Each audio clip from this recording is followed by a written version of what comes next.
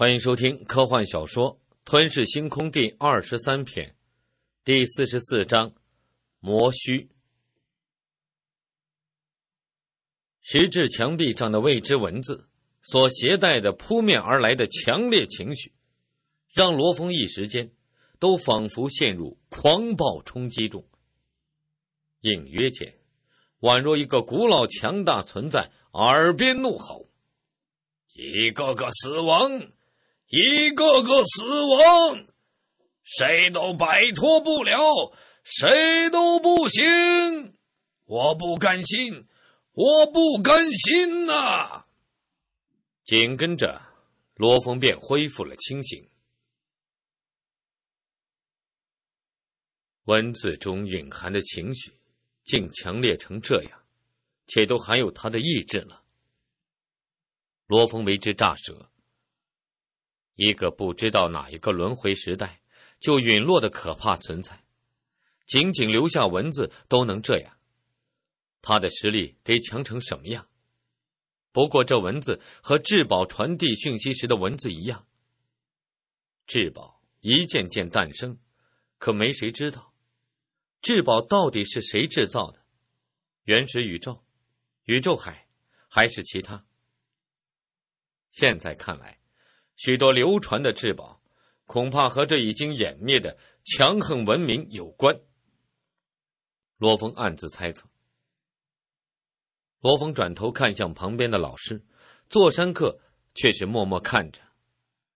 以座山客的实力，倒是不受那文字强烈情绪的影响，只是他的眼神却隐约有些悲凉。许久。才缓缓摇头，看了眼罗峰。罗峰，这留下文字的神秘强者比我强，比任何一个宇宙最强者还强。就是你们人类的元祖，怕都不及。或许两大圣地宇宙的始祖能媲美吧？强悍如斯，可结局……却这般悲惨。座山客摇头。我们宇宙海现如今活跃的三个轮回时代，两大圣地宇宙，在数千乃至过万个轮回时代后，不知道又有谁，又有哪个族群能存活？罗峰一怔：“是啊，不用多，只要再过三个轮回时代。”现如今，这大量的强者们，恐怕就两大圣地宇宙能幸存吧。想要再出一个圣地宇宙，太难了。老师，洛风双眸目光凝练如刀，轻声却坚定道：“希望或许渺茫，可毕竟两大圣地在那儿，我等都看到希望。不管怎样，都得拼一拼。”我活到如今才十余万年，相对一个轮回时代而言，无比的短暂。今日我能达到这一步，那上亿年、百亿年，乃至更久，我一定能走得更高。没有路，都得走出一条路来，更何况早有强者成功过。座山客看了眼罗峰，笑着点头说。哈哈哈！哈哈，我倒是受那些文字影响了。年轻人就是不一样，锐气十足。要的就是这股锐气。像一些活了无尽漫长的老家伙，漫长时间无法突破，早就磨掉了他们的锐气。好好努力，说不定将来老师还要借助你。借助。罗峰心中一动。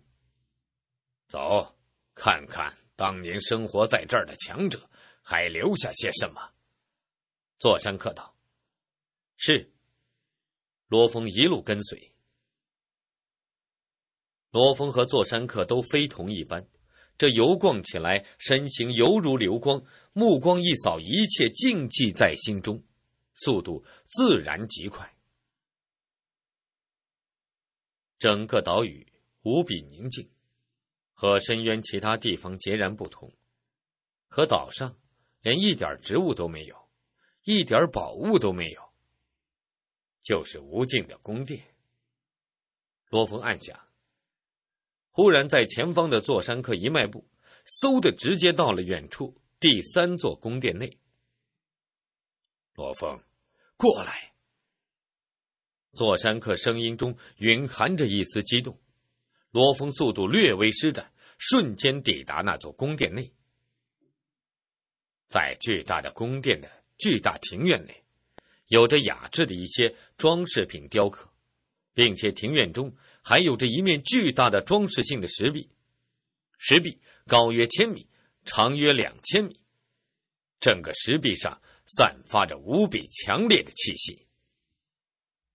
这是罗峰一眼看清，这面石壁上有着微小到纳米级的无数密纹图案，无数的密纹图就仿佛镶嵌在石壁上，石壁好似他们的巢穴。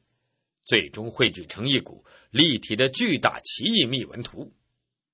砰！一股气息冲击罗峰的意识。前方原本只是石壁，可此刻一切都变了。只见那石壁仿佛蕴含一方世界，世界中有着无数的生灵，或者是岩石类生命，或者是金属类生命，或是血肉类生命。亿亿万生命都全部跪伏着，朝着一个方向跪伏着，朝拜着，口中发出了共同的声音：“摩许，摩许，摩须。”声音阵阵，宛若山崩海啸。罗峰醒来，一股强烈的神力冲击令罗峰惊醒过来。老师。罗峰转头看向老师，心中却满是震惊。太可怕了！这，这是什么秘法？自己研究密文图流，也细心研究过微型宇宙密文图。可是微型宇宙密文图和眼前石壁蕴含的广袤神秘密文图相比，简直就是一朵火焰和一颗恒星相比。而且罗峰敢肯定。之前自己所看到的景象，正是那石壁密文图引起的，而创造那密文图的存在。如果真正施展那密文图法，定能让亿万生灵臣服，至少宇宙之主绝对抵抗不了，瞬间就会成为其奴仆。你还真是大胆，一来便直观那个整个石壁的密文图。这石壁密文图，乃是古老存在遗留，深奥不可测，就连我都只能看懂一星半点儿。座山客遥指旁边：“我让你先看这边。”罗峰顺着老师所指的方向看去，那是庭院墙壁，墙壁上有着一些文字遗留，一看便知道。和之前看到的那疯狂的遗留文字是同一个强者遗留。我终于突破了，可死亡还是很快会降临。我不甘心，我后悔。可是晚了，一切都晚了。一个个都死去，我达到新的境界，悟出我的最高绝学。可是晚了，这密文图所代表的绝学，便是我的最高巅峰，最高巅峰啊！简短的文字，似乎书写这段话时，愤恨之气没那么强了，有的只是悲凉。罗峰看着墙壁上这段留言，顿时了然，原来之前石壁上的那宛如镶嵌在。石壁上不可思议的密文图，竟代表着那位强者的最高巅峰。这已经不是第一例了。座山客道，在三大绝地，像一些核心之地，都会有一些古迹，一些不知道多少个轮回时代之前的超级存在遗留的。我所见过的古迹，加上这次便有九例。有些古迹用途很大，有些古迹却没有用途。罗峰点头，连自己都得到过季凡子的遗迹，也发现到这儿。一些能进三大绝地核心之地的宇宙最强者们，能够发现诸多古迹也不奇怪。这位存在，只是为了证明自己。座山客摇头，他并没存心想要传承。若是要传承，即使不详细指引，也好歹留下数十份密文图。从低到高，也好让后来者好好琢磨研究。他却直接留下这最逆天的一套密文图在这儿，连我都没法修炼，谁能修炼？神眼族曾经走运，发现一套古老存在遗留的完整传承古籍。座山客感慨：“我怎么没那么好运？”罗峰，我让你别看石壁，你又看。座山客忍不住道。此刻，罗峰正看着石壁，只是他仅仅观察石壁的其中一个角落，而不是之前观看整个密文图。那一个角落，约莫是整个密文图万分之一的部分，只是无数微型密文图彼此构建，甚至贯穿石壁内部。有一种宇宙是基本离子，基本离子又组合成生灵的诡异感。那些密文图，每个图都很精美，无数微型密文图的构造更是让罗峰完全沉迷。金木水火土，风雷电光线，时空融合法则，狗屁！通通不是，这是一种截然不同的、更加精妙不可测的。罗峰完全为之震撼。忽然，罗峰，醒来！座山客喊道。罗峰转头看向老师：“老师，我这次没受到影响，我很清醒。”哎，你这一看，已看了超过三天了。座山客摇头无奈道：“难道我一直站在这儿？这密文图虽然玄妙不可测，可和我却不是一路。”啊，三天！罗峰一怔，全身经沉浸在其中，时间过得还真快。老师，这密文图无比高深，怕是亿万年我都研究不透。可是。我从他最基本参悟，却使得我在密文图流上有所映照。我密文图流造诣困在宇宙尊者极限已经很长了，我感觉这是我一个突破的契机。座山客笑了，哈哈哈哈哈！也对呀，对我无用。你确实也走那密文图流派，密文图流派便是要观察越多的密文图。研究越多，才有突破的可能。你在这三天，我也看了三天，我也有些感悟，从中感悟出五大秘文图。你且看看。哗！座山客遥指旁边的庭院高大的墙壁，只见石质墙壁上顿时刷刷刷出现了无数的细小密文。一个个巨大的密文图，同样比微型宇宙密文图高深极多的五大密文图，分别在墙壁的五处位置。这五大密文图，是我从中悟出，都有那绝学的千分之一威能。有这座跳板，你参悟也能更快。座山客直接道：“罗峰目光看着那五大密文图，不由为之震撼。”不愧是制造出至强至宝的存在，这实力的确可怕。别看了，该出去了。座山客笑道：“这岛屿很是宁静，又没有任何危险。你只要在这留下一个神力化身，即可慢慢参悟。你可知道，现在外界正发生着大动静，我已感应到外面那强大的波动，估计是宇宙最强者在交手。宇宙最强者交手，罗峰一惊。否则我岂会叫醒你？座山客笑道：“你留神力化身在这儿，神力化身虽然实力很弱，可没谁攻击也不会有事，完全能在这儿静心参悟。走，我们去看看。如果来得及，或许还能看到交战场景。说不定，交战的一方很可能是你们人类的巨幅创始者啊！”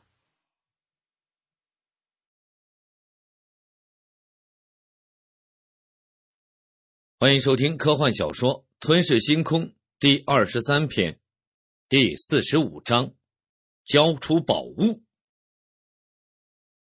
听到外界交战的很可能有巨幅创始者，罗峰便再也定不住了。老师，我们赶紧走。罗峰连道，同时转头看向旁边，只见一丝丝迷蒙的神力。从他身体中飞出，而后在旁边凝聚，凝聚成一人类形态，正是一尊化身。像宇宙尊者，就能轻易使用神力化身这一招了，而不朽却很难使用这一招，因为他们的神力很弱，分出神力少的话，连维持基本的意识都做不到；分出神力多点的话，比如分出百分之五十的身体，却会令分裂开的身体战斗力都很弱。这就是导致神力化身这一招在不朽神灵中很少见到。可宇宙尊者施展便容易多了。像当初原始星开启，鸿蒙众多宇宙尊者进原始星，便很多都是留有化身的。好，我们这就出发。座山客也不迟疑，仅仅数秒钟后，一尊巍峨的青色山峰便悬浮而起，直接飞向高处。紧跟着，座山客又施展出那巨大的密文图，引动这隐秘空间，便被直接传送出去了。这隐秘空间也只剩下一湖一岛一神力化身而已。无尽冰层大地，青色山峰又再度出现。嗖，青色山峰迅速朝远处高速飞去，根本无视任何危险。和深渊其他地方比，那隐秘空间简直就是世外桃源。罗峰赞叹道：“没有危险，平静的很。难怪当年那位超级存在是住在那儿。”而且这等进入出来的手段也很高明，我看过老师施展，也依旧学不会。等你成为宇宙最强者，就能学会了。座山客看向罗峰。对了，提醒你一句，你那神力化身最好安心待在那儿，好好参悟，可别突然散了你那神力化身。老师，我可没时间再来送你进去。明白，明白。罗峰笑着，自己仗着密文图留造诣，或许能和宇宙之主们斗一斗，可是和宇宙最强者们比起来，和比宇宙最强者还可怕的已经湮灭不知道多久的古老存在们相比，自己还是太稚嫩了。这次。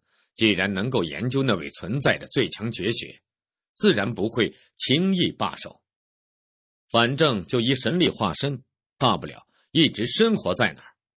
罗峰双眸放光，不管怎样，都得好好研究透。我的秘法，可全指望着他呢。唰唰唰，谈话间，山峰速度却是越来越快。已然突破百倍光速，继续往上飙升。哇！罗峰也注意到山峰的超高速。老师，你这，你这超高速前进，突破了运转法则限制，引起波动不小，会被战斗的宇宙最强者发现的。罗峰忍不住道。座山客坐在那儿，悠闲自得的给自己倒了一杯果酒。难道慢吞吞飞过去？等你飞过去，那战斗早就结束了。可是，罗峰一时间说不出话。百倍光速恐怕得飞几天，几天？强者战斗本来就快，即使是宇宙最强者，厮杀惨烈。能维持半个小时就很夸张了，当然，追逐战除外。一些强者一追一逃，追逐战耗费千年万年都是常有的。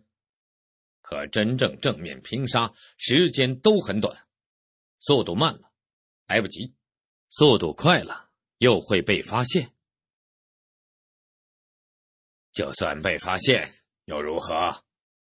座山客端起酒杯，尝了一口，赞叹道：“来来来，这酒不错，是第二轮回时代的一位好友，请我炼制至宝石送来的，尝尝。”罗峰哑然失笑，老师既然不怕，自己还担心什么？炼制至宝石送的酒，得尝尝。罗峰走上前去，坐山峰速度直线上升。千倍光速，万倍光速，十万倍光速，所过之处浩浩荡荡，摧枯拉朽，威能逆天。罗峰才喝了两口，砰！一股盈盈的震动，便让罗峰脸色微变。到了，座山客起身，随即右手一划，周围的景色一切都变成透明。整个山峰都不再阻碍视线。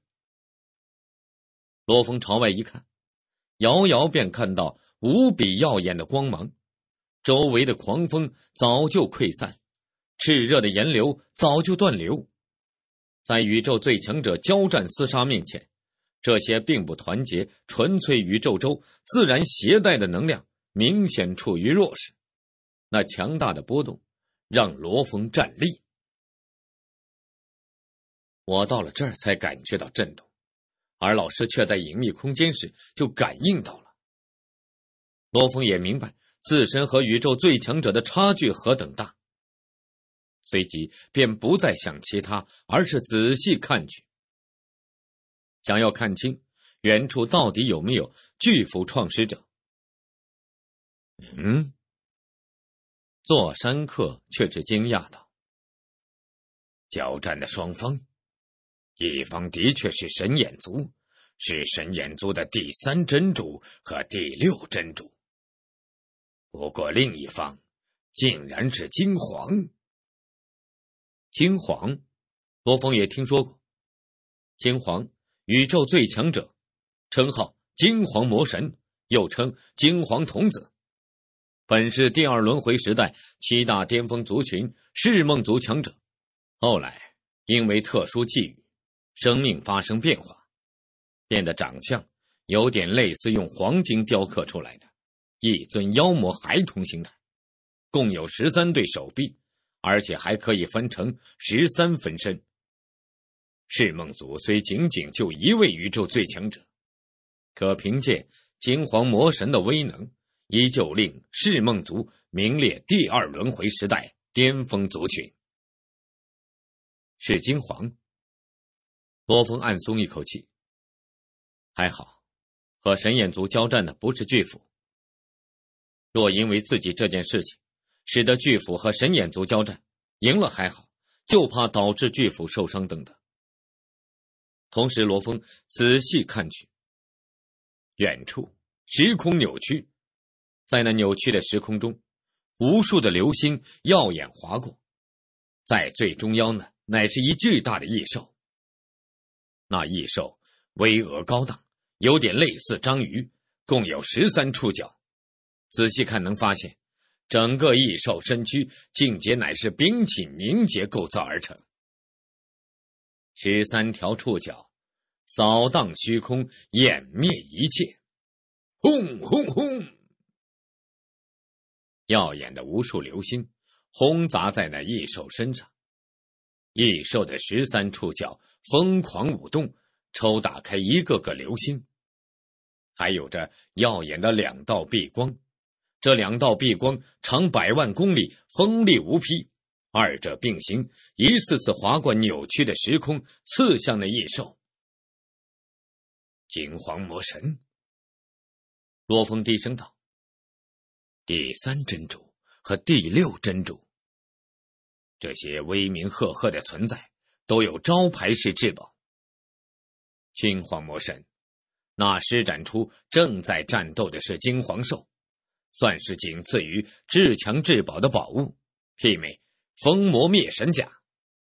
不过很显然，有金黄魔神施展，嘿，那威能比武魂之主用灭绝神铠明显不同。第三真主名为星辰真主，施展的则是那无尽流星。乃是领域类至强至宝，名为星辰国度。第六真主名为闭眼真主，施展的则是两道碧光，实际乃是很诡异的灵魂攻击至强至宝，名为闭眼之光。老师，这金黄魔神施展的并非至强至宝，竟能抗住第三真主和第六真主。罗峰道。哦，座山客摇头笑道：“首先，金黄，他看似仅仅施展了金黄兽，实际上，金黄兽体内还有一宫殿类至强至宝，所以金黄能轻易承受。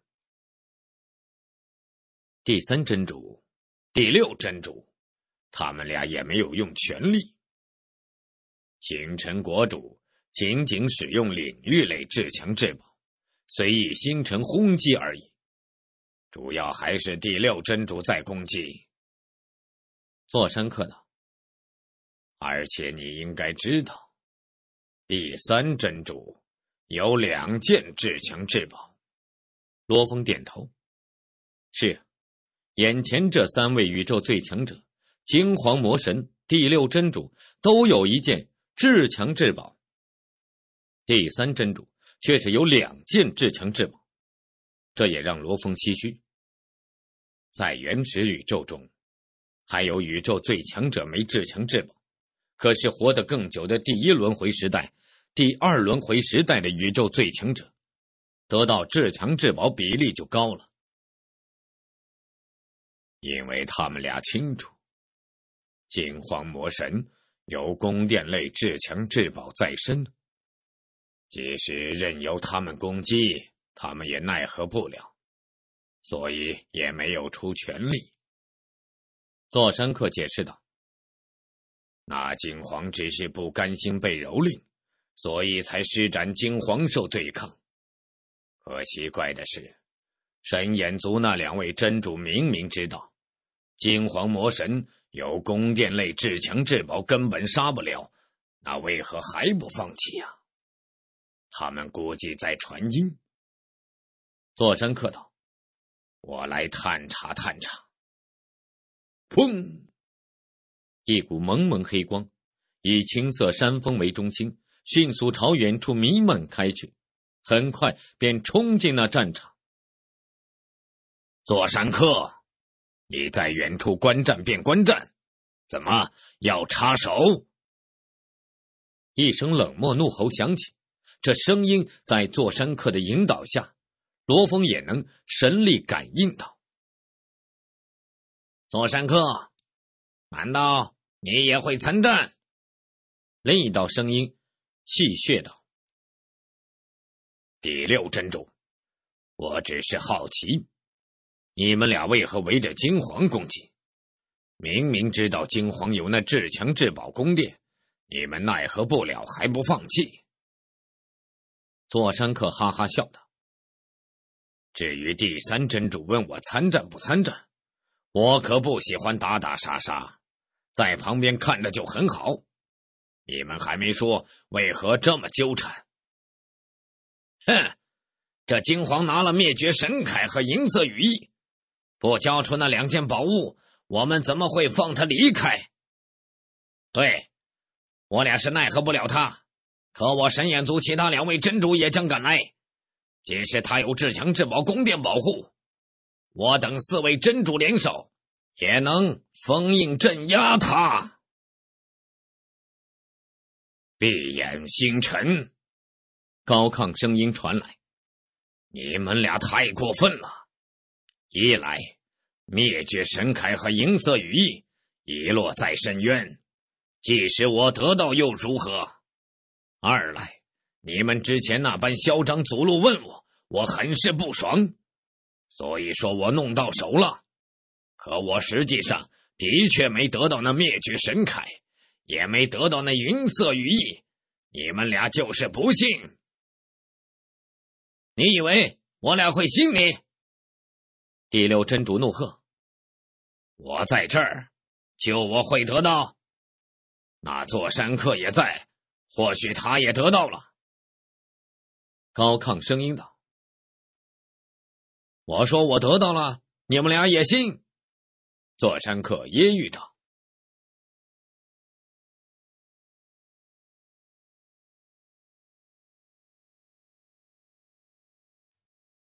欢迎收听科幻小说《吞噬星空》第二十三篇，第四十六章：巨斧最强之战。”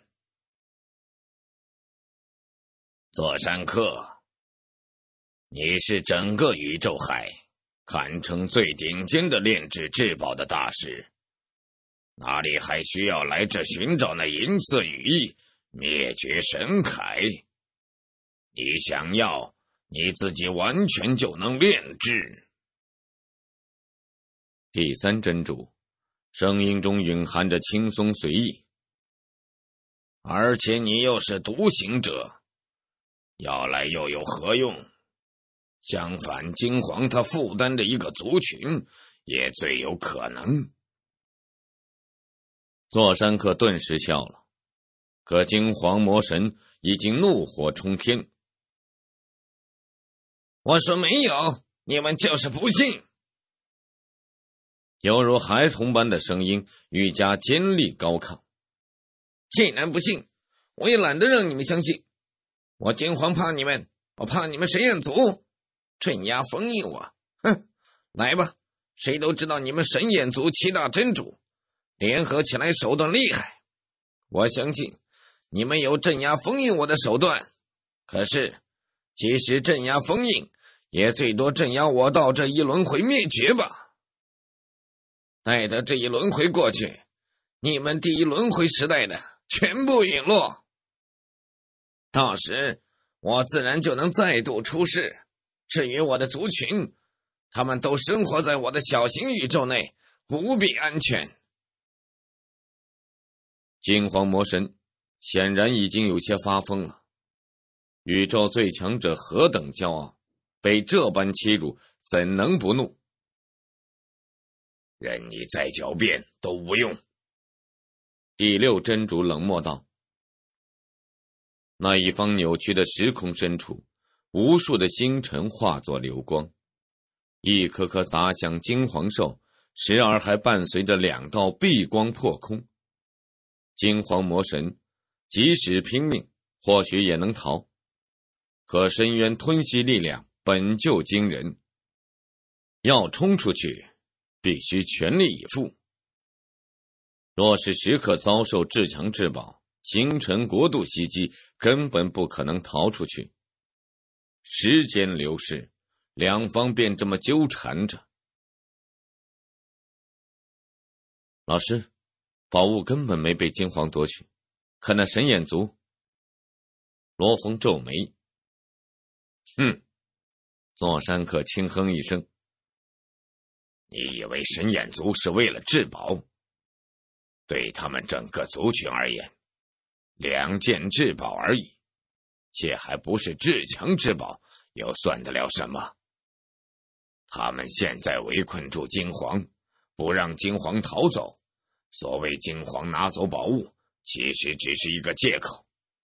他们真正要做的是要对金皇下手，以显示他们神眼族的威严不可侵犯。杀鸡儆猴，罗峰脑海中浮现这一词汇。第一轮回时代即将面临大限。神眼族那般强大，又怎会甘心湮灭？肯定会要疯狂的挣扎一把。这次只是一个开端。座山客说道。罗峰思忖着，疯狂挣扎。老师，我们在这等着。罗峰有些迟疑。这般围困下去，或许会很久，直至另外两位真主到来。到时候便有四位真主。等，当然得等。这么精彩的事，怎能错过？座山客道。罗峰心中担心四大真主对座山客老师下手，可老师何等智慧，当然能预料到。既然敢在这儿，定是有依仗。罗峰便不再多说。第九深渊中，好强的波动啊！巍峨巨斧正高速前进，巨斧创始者早就感应到那波动了，却避免被发现，一直近百倍光速朝那靠近。交战的应该是宇宙最强者，虽不拒战，可巨斧创始者也不愿太过嚣张的冲去。时间流逝，两大神主围困金黄魔神，座山客悠闲悠哉的远处观战。谁出来？一道怒喝忽然响起，正是第三真主星辰真主发出，声音轰隆，传递四方，也透过座山客施展的领域传递进来。令在青色石峰内的罗峰、座山客都眼睛一亮，朝外期待看去。座山客更是笑道：“哈哈，看来又有强者到了，有意思，有意思。”哗，锋利的气息令一颗颗星辰抛飞开去，一柄巍峨巨斧浩浩荡荡飞了进来。同时，一道粗豪的声音响起：“星辰之主果然厉害。听闻神眼族七大真主，论实力，第一真主排第一，而第三真主你便排第二。最擅长的便是领域。你我第一次碰面，却能发现我，的确是名不虚传。巨斧。”巨斧，第三真主声音蕴含着一丝冰冷。来得好，哈哈哈哈哈！巨斧也来了。金黄魔神却是大笑，有趣有趣。座山客也笑了。此刻五大宇宙最强者聚集在这儿，巨斧的到来，另外四位似乎都挺开心，唯有罗峰很是震惊，又满是焦急。巨斧创始者怎么来到这儿了？难道因为我的事？这下麻烦了。那两大真主极厉害，又擅长联手。那金皇有宫殿类至强至宝，防御最强不怕。可巨斧创始者没法僵持啊！罗峰担心了。巨斧可是人类族群的顶梁柱，真正的唯一之主。元祖被永久镇压。根本无法出来。巨斧如果出了什么问题，自己可就真罪大了。第三真主、第六真主的确开心，他们要对金黄魔神下手。可金黄魔神有那黑石神殿，很难缠。虽说看到座山客了，可金黄魔神虽然难缠，可座山客更难缠。所以他们嘴上连怀疑都不怀疑，直接说座山客不可能得到。所谓柿子得捡软的捏。巨斧创始者来了，明显更好对付，因为巨斧创始者并没至强至宝。哈哈哈哈哈！巨斧，第三真主声音贯穿这一方时空。两件至宝沦落在第九深渊，这事也就你们人类，我神眼族，还有那紫月圣地知道。最早赶来的也该是我们三方。我早就猜到，最可能得到那两件宝物的就是你巨斧，只是一直没发现你，所以只当是金黄魔神。我没得到，巨斧创始者直接道：“你说没得到就没得到了。”第三真主直接道。你们小小原始宇宙人类，也敢和我神眼族作对？不管是夺宝，还是你们人类那个罗峰害死武魂，你们人类都该死，都该灭族！巨斧创世者眼眸中露出一丝冰冷。灭族！你死了，原始宇宙人类自当灭族！第三真主冷漠道。杀了你，看以后谁还敢和我神眼族为敌！座山峰内的罗峰听得满心怒火，武魂要杀自己，自己就不能反过来弄死他？而且那神眼族竟然要陈氏立威，那看似弱小的原始宇宙人类立威，不由急焦急，转头看向座山客老师，老师。巨幅创始者是我人类如今唯一支柱，他不能倒，还请老师帮忙。我只关心你，至于人类兴衰和我无关。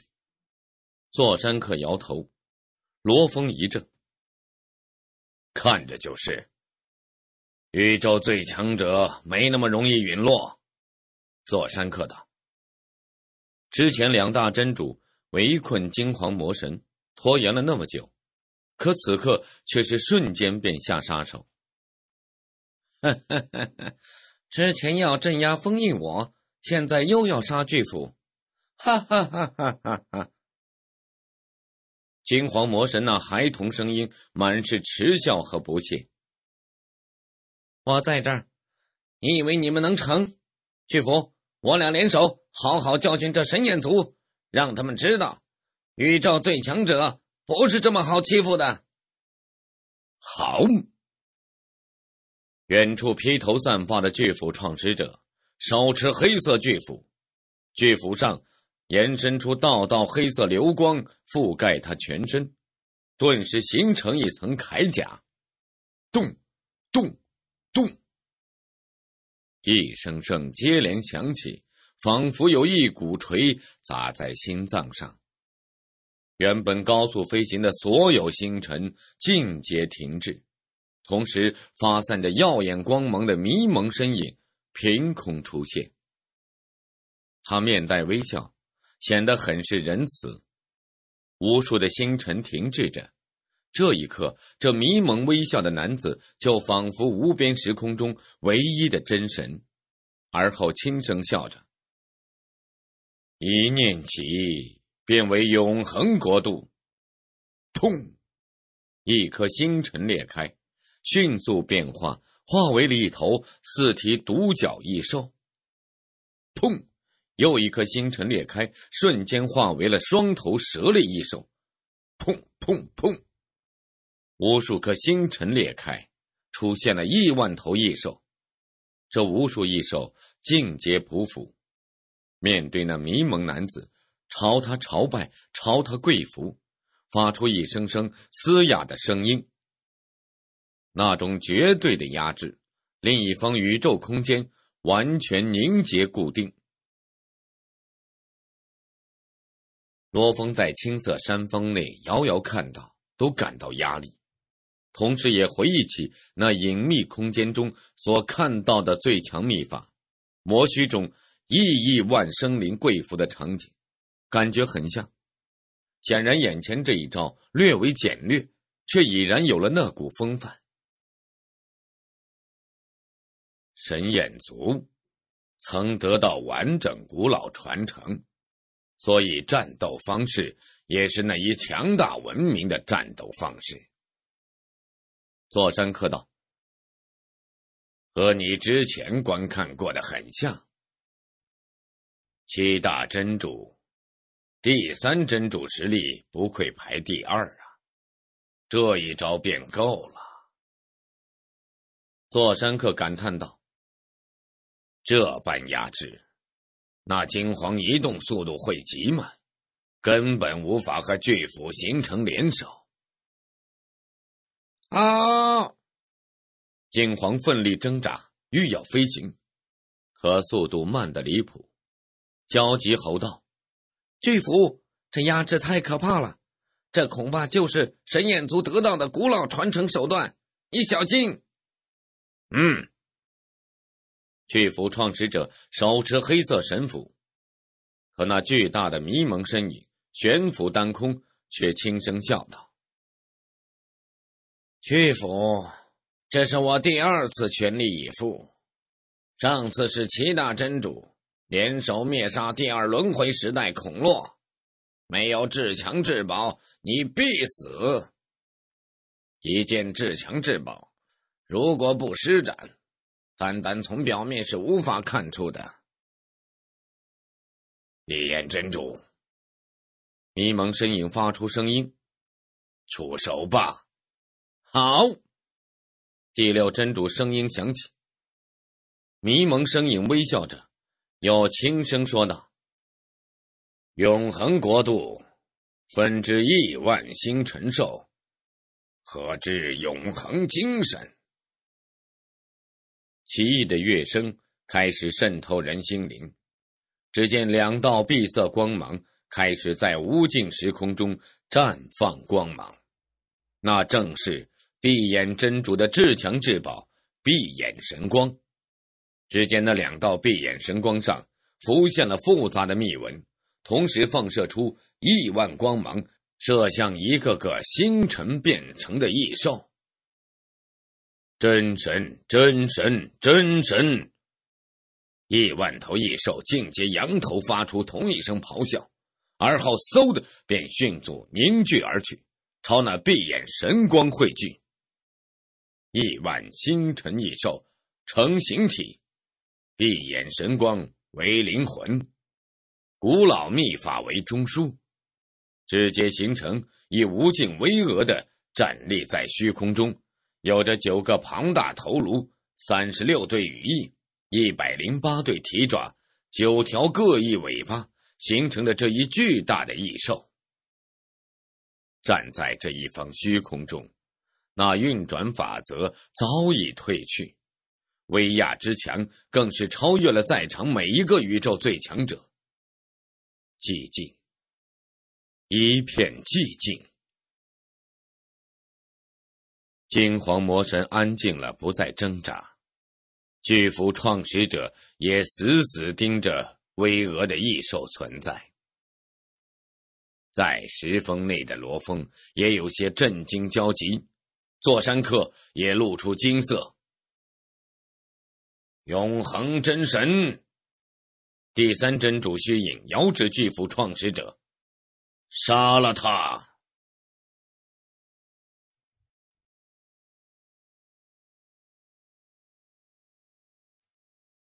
欢迎收听科幻小说《吞噬星空》第二十三篇，第四十七章：巨斧的斧头。永恒真神的九大头颅，或是狰狞，或是冰冷，或是咆哮，或是尖叫，或是低吼。他的每个头颅的眼睛，都看向周围虚空的诸多方向，目光所至。宇宙空间完全凝固，即使是宇宙最强者的威能，都无法令凝固的空间破碎。砰，砰砰！永恒真神踩着虚空，每一步都令虚空站立，发出轰响。一百零八对蹄爪踩踏虚空发出的声音，整齐无比。周围一片寂静，没有任何一个宇宙最强者有动静，就连巨斧创始者也是手持神斧，默默等候。巨斧只是第三轮回时代的小家伙而已，成宇宙最强者时间短暂，恐怕我俩联手便能令他陨落了。第六真主传音道：“第三真主也戏谑笑着观看着，连至强至宝都没有，在这一招之下，的确有可能陨落。历史上。”因为战斗厮杀，导致陨落的宇宙最强者都极少极少，而第三真主、第六真主却看到了灭杀巨斧的可能。砰，砰砰！永恒真神体型庞大，看似缓慢踩踏虚空，实则速度早已超过百倍光速。运转法则在这早已无效。很快便已浩浩荡荡到了巨幅创始者面前。嗯，伴随着蕴含灵魂冲击的高亢的叫声，永恒真神瞬间爆发了，獠牙锋利，蹄爪如钩，肆意的抓向巨斧创始者。他所过处，那无比凝结的空间直接迸裂开。完全笼罩向巨斧创始者，砰！随着一声脆响，巨斧创始者双手持着神斧，瞬间倒飞开去，竟能挡住，还有点能耐。在遥远处，那迷蒙的放出光芒的第三真主虚影，微笑着说着。可幸运只有这一次，下次你就不愧是神眼族。远处倒飞的巨斧创始者猛地停下，披散的头发下，一双眼睛充满着战意，哈哈大笑着：“厉害！这异兽真神竟然还蕴含强烈灵魂攻击，我一时不察。”倒是让这异兽真神占了上风，不过你们能占上风，也就这一次了。声音粗豪，却让各方震惊。第三真主和第六真主联手，他都不放在眼里。远处观战的座山客惊讶道：“罗峰则是心中稍微一松，既然敢说这话。”那看来，巨斧创始者是没有生命之危了。第三真主和第六真主却真的怒了，真是狂妄！第六真主怒喝：“怎么，从现在开始，你就要压制我们？”放出迷蒙光芒的身影更是发出冷笑声。我星辰真主纵横宇宙海，敢对我这么嚣张的，屈指可数。更何况我和第六真主联手对付你，你竟然说要压制我们俩，哈哈哈哈哈哈！笑话，真是笑话！那永恒真神的九个头颅同时发出各自怒吼声。再度笼罩向巨斧创始者。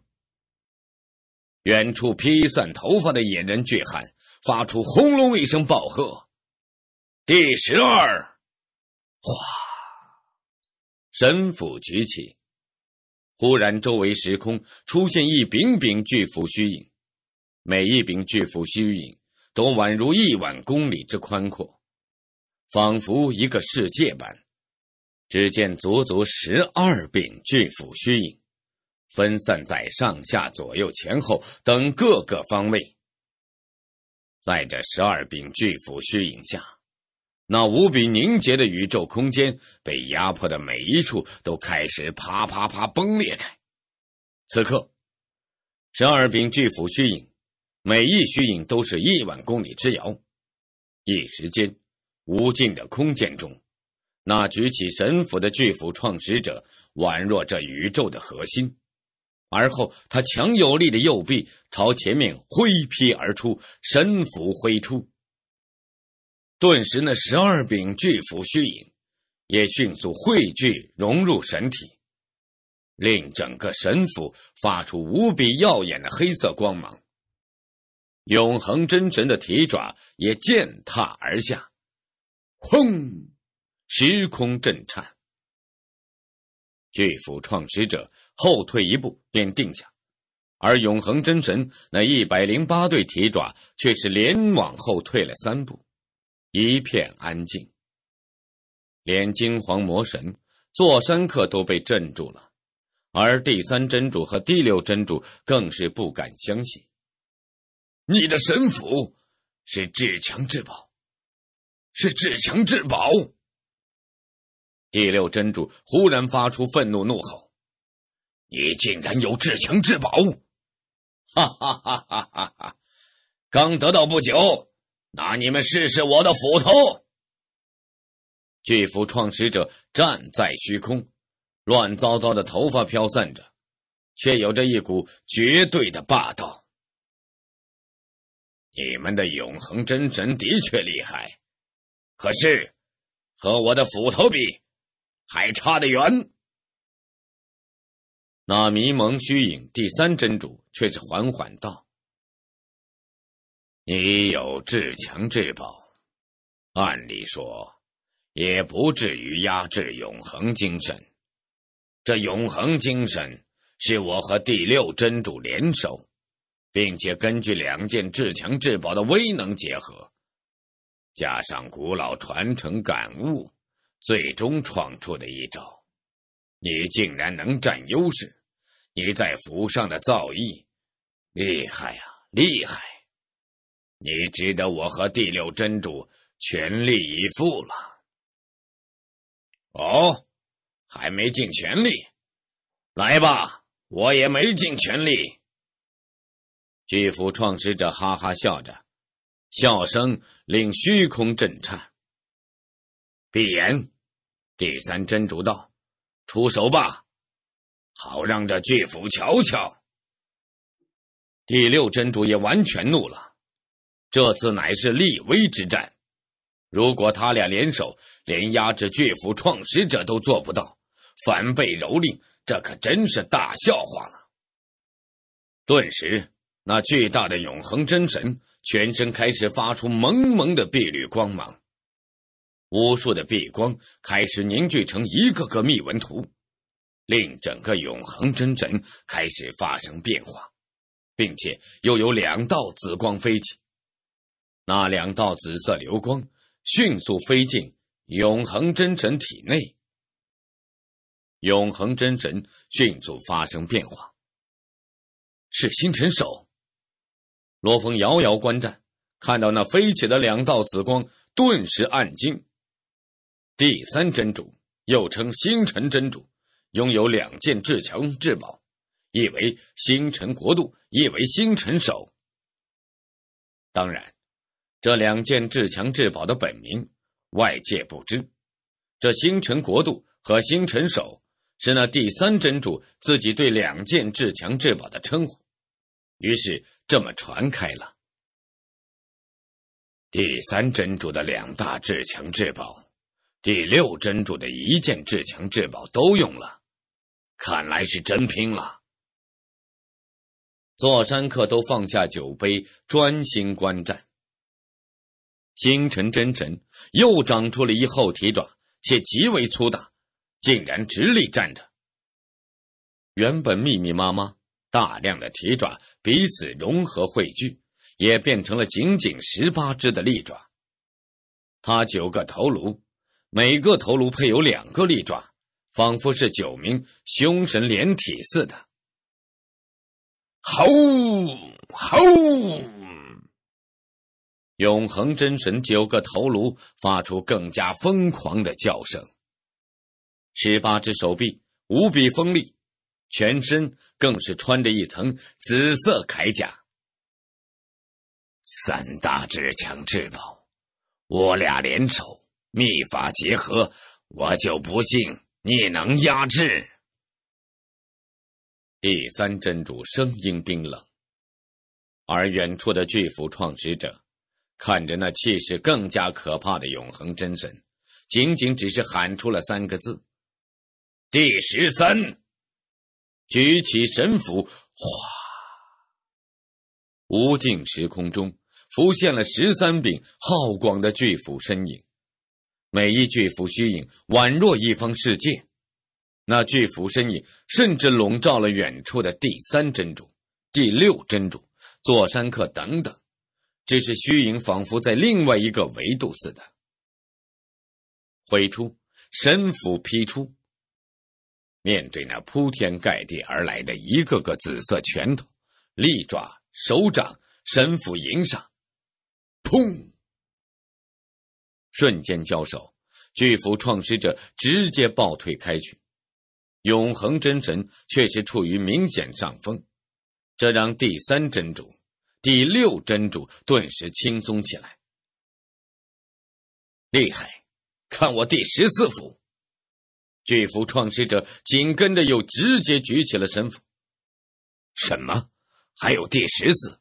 怎么可能？第三真主、第六真主有些惊愕。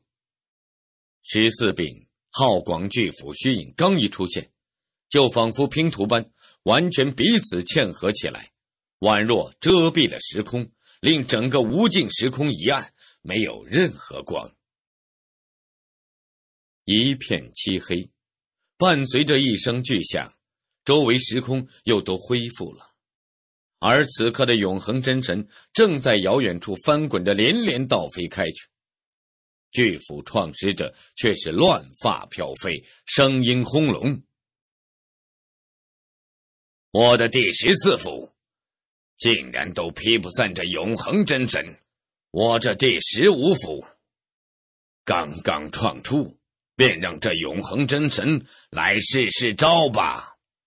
第十五，巨斧创始者声音一起，紧跟着无尽的时空又再度暗下来。可紧跟着，在无尽的黑暗中，竟然出现了泛着光芒的巨斧虚影。诡异的是，这巨斧虚影却让在场每一个强者，包括实力最弱的罗峰。都感觉到那巨斧虚影似乎是在另外一个世界。他，他触摸到了。青色石缝中的座山客猛地站起，眼眸中满是震惊。元祖，巨斧，人类，人类的潜力果真。罗峰则是完全被这一招震撼了。那在无尽黑暗中亮起的巨斧虚影是那般神奇，好似在另外一个世界。那种诡异感深深震撼了罗峰的心。罗峰甚至感觉，这一斧头恐怕能够灭绝一个宇宙。当然，罗峰明白这只是错觉，那太过强大给自己带来的错觉。他，金黄魔神也愣住了。无声无息，一斧出，无尽时空恢复正常，而那永恒真神则是整个崩解、溃散开来，化为了大量的无数星辰，化为了两道碧光以及一对紫色护手。他，他竟然令三大至宝分开了！第六真主惊呆了。竟令永恒真神分解，他他，巨斧，这巨斧难道会是又一个元祖？第三真主心中则是战栗，他和元祖交过手，当年被打得落荒而逃，在元祖面前的那种无力感，此刻再度浮上心头。当年元祖被原始宇宙永久镇压，令不少宇宙最强者暗自庆幸叫好。其他宇宙最强者们，都陷入绝对震撼中，且个个心中很是复杂，浮起诸多心思。唯有罗峰，虽然很震撼，可同样很激动。从未见过巨斧创始者出手，没想到巨斧创始者竟强成这样，这是我人类族群的幸运啊！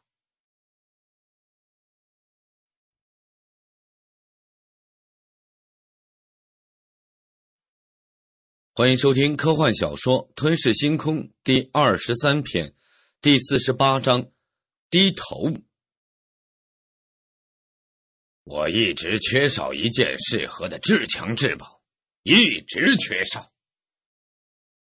巨斧创始者站在虚空中，手持神斧，遥看远处。正因为没有至强至宝在手。我一直低调隐忍，唯恐锋芒太盛，为我人类族群引来灾祸。元祖对我有大恩，他被永久镇压，也只是希望我一定要带好人类族群。第三真主，第六真主，你们俩知道吗？什么最让我愤怒吗？巨斧创始者双眸猛地一亮，两道实质般的光芒直接划过长空，一声怒吼响起：“那就是要灭我人类族群！灭族！灭族！就你们神眼族也敢嚣张要灭我人类族群？元族在时，你们敢吭声？”今天，我就让你们知道要灭我人类族群的后果。巨斧创始者声音震撼，同时已然手持神斧，咆哮道：“第十五，快走，走！”第三真主、第六真主又惊又怒，却又顾不得其他，立即开始要逃跑。一斧出，无边黑暗降临，宛若在一虚拟空间中的巨斧虚影，泛着耀眼光芒。紧跟着这耀眼的、泛着光芒的巨斧虚影，便和神斧融合，无声无息，劈杀向那第三真主和第六真主。轰！哗！无数星辰阻碍，直接被劈散。快！星辰，快阻拦他！第六真主急了，慌了。第三真主却是怒道：“他的攻击，连三大至强至宝的融合后的永恒真神都能劈散。我的领域类至强至宝怎么困得住他？连他的速度都影响不了多少。快，我们赶紧先逃再说。你们走不掉的。”那一柄巨斧破空高速飞行，急速追来，速度不断飙升，千倍光速、万倍光速，飙升速度极快。而且那飞行的巨斧周围腾绕巨斧虚影，肆虐扫荡，令那一次次袭击来化作流星的无数星辰直接被劈散。堂堂领域类至强至宝。对巨斧创始者竟难以限制。快，快，快！一座宫殿高速飞行。那宫殿仅仅只是巅峰至宝，而巨斧创始者用至强至宝神斧开道，再配合其本身实力，速度何等快！他在接近，不好！在超过十万倍光速下，巨斧创始者一眨眼便追上了。躲在宫殿中，那就被我封印吧！巨斧创始者直接是右手一伸，只见他的右手猛地变大，化为了百万公里的大手。大手的五根手指，每一根手指都腾绕着斧头虚影。令首长周围陷入一片诡异的黑暗中。我们分开，躲在宫殿至宝内，根本没法反抗，连永恒真神都挡不住他。这一巅峰至宝宫殿，一旦被抓住，我们在里面也没法反抗，怕会被他扔进镇压类宫殿中被他镇压。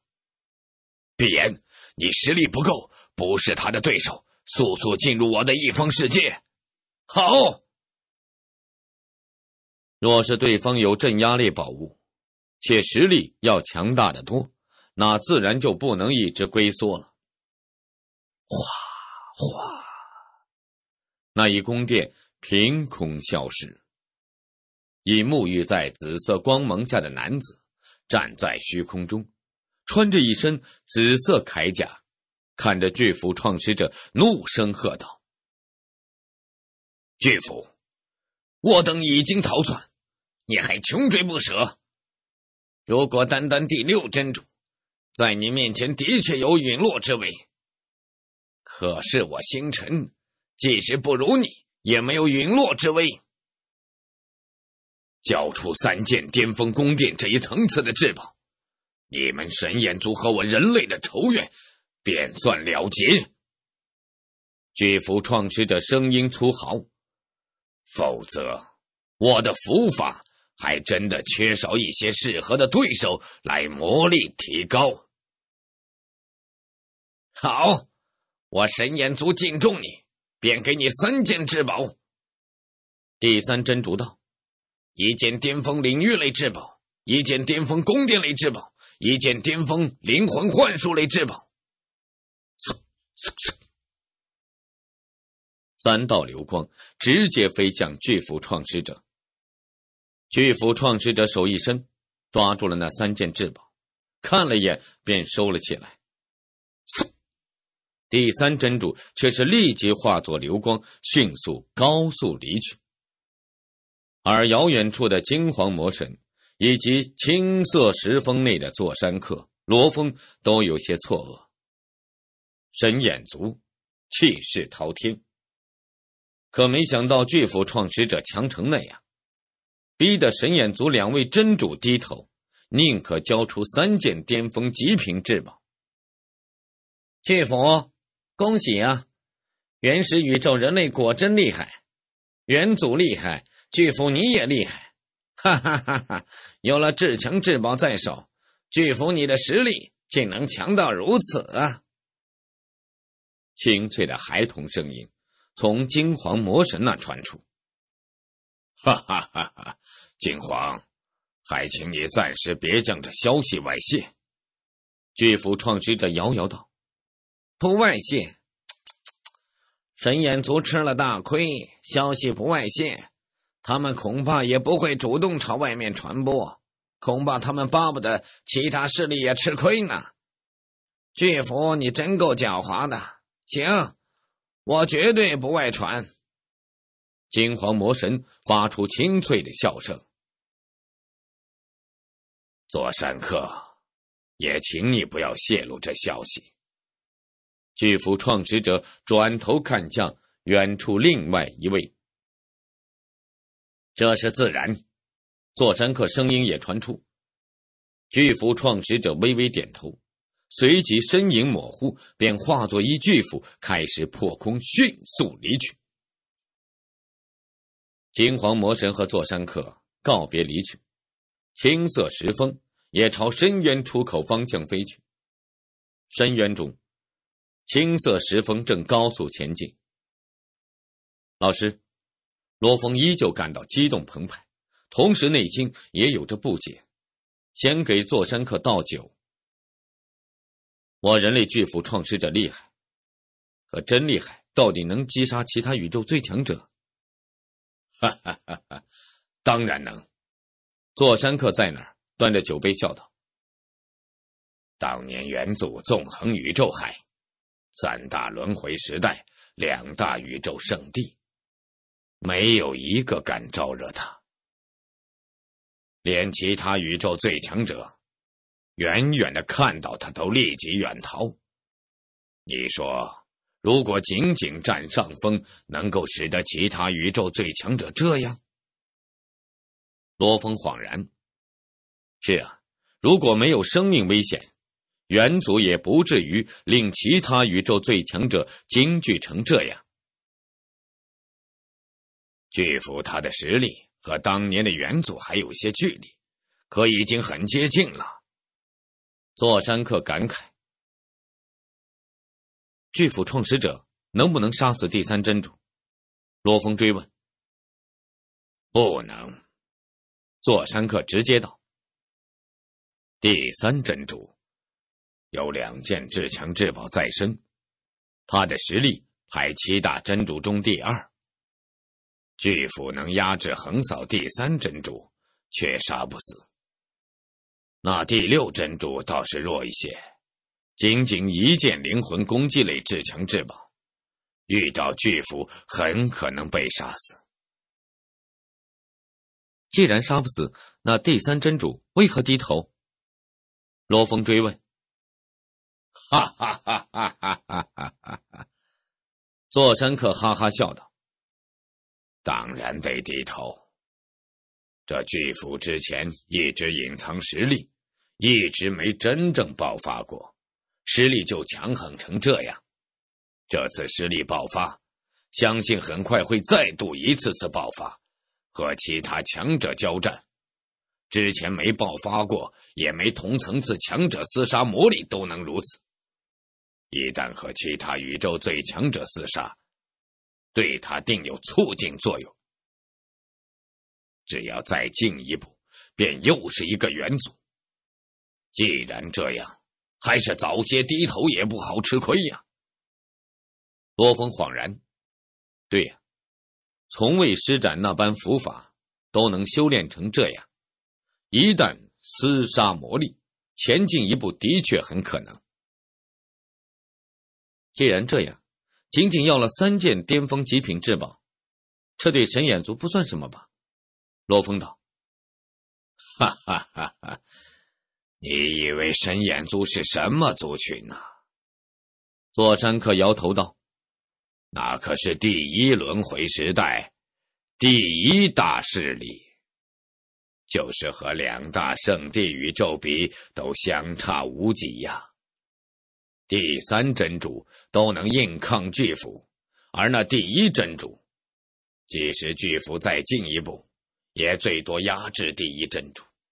那第一真主。”当年在元祖面前，可都能扛过来呀！七大真主一旦全部联手，更加可怕。嘿嘿，加上神眼族即将面临大限，七大真主心底自然无比疯狂。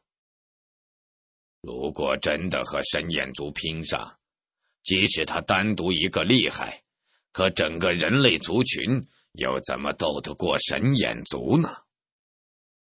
怕是其他宇宙之主们都不敢再进宇宙海了。这是一次恩怨了结，收点好处，又不让神眼族太过心疼。神眼族不愿招惹巨斧，巨斧也为人类族群将来不愿和神眼族全面开战。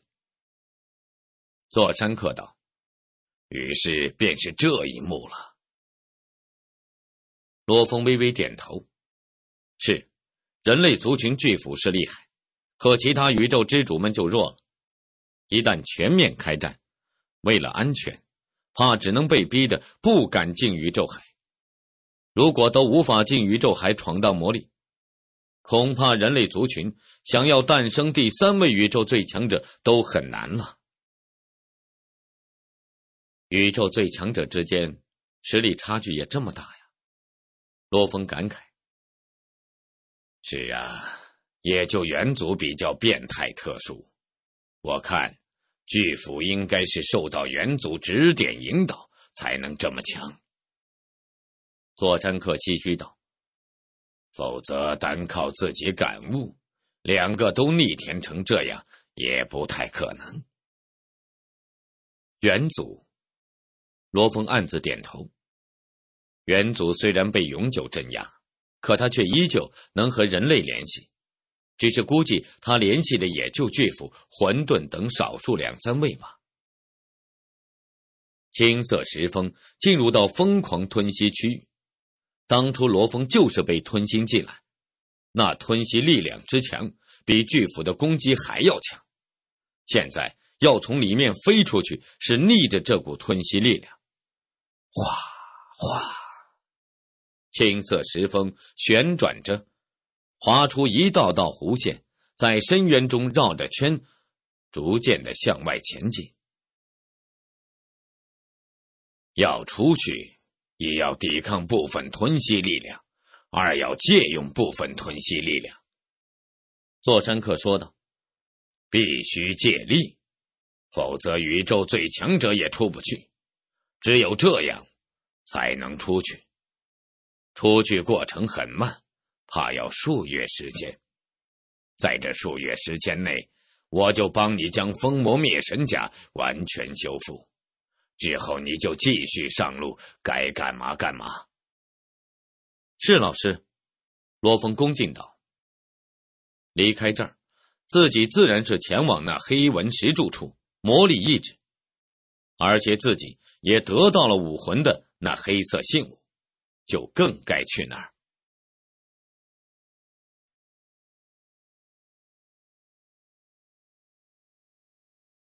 欢迎收听科幻小说。《吞噬星空》第二十三篇，第四十九章：秘文和秘法。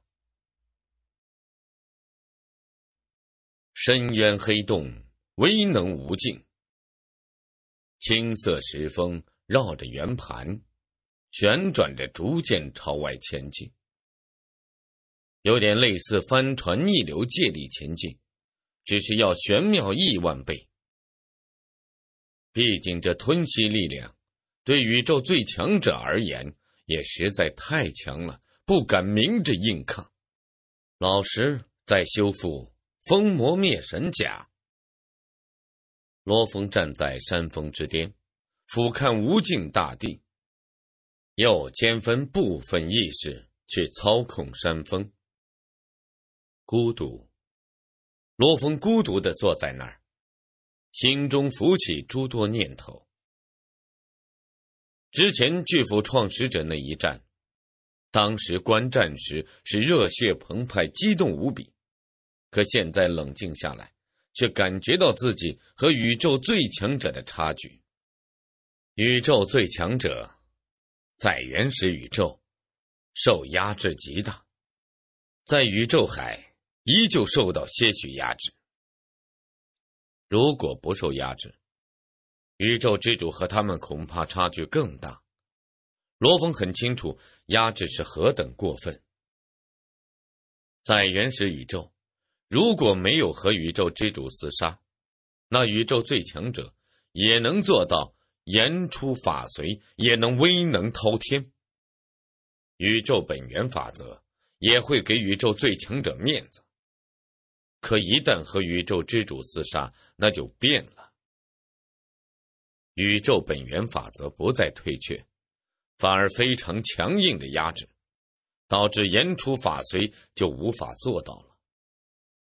反而宇宙之主能够掌控时空，使得在领域方面，宇宙最强者都没有任何优势。当然，当初杀元奥之主是顺宇宙本源之意。所以才没遭到压制。神力发挥的强度，则相当于完美生命基因的宇宙之主的神力。这仅仅是很小一方面，并且还有着最强威能限制上限限制，是宇宙本源法则所定下的一个极限值。宇宙最强者发挥的威能无法超过这个限制。一旦要超过，就会受到压制，就像当初虚真魔神被一条条法则锁链捆缚一样。言出法随消失，神力发挥被限制，连最强爆发的实力也有一个上限，并且杀了宇宙之主后，还要遭到严惩，身体受到重创。诸多压制下，使得在原始宇宙，宇宙之主们几乎不怎么怕宇宙最强者。稍微厉害点的宇宙之主，便不用怕宇宙最强者了。而在宇宙海就不一样了，宇宙海分散着大量的小型宇宙以及原始宇宙。原始宇宙实在是太大了。所以，原始宇宙本源意志依旧是最强的。就算是茫茫宇宙海中法则运转，都受它影响。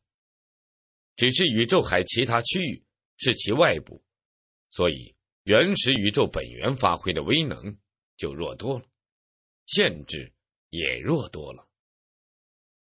仅仅两重限制：第一。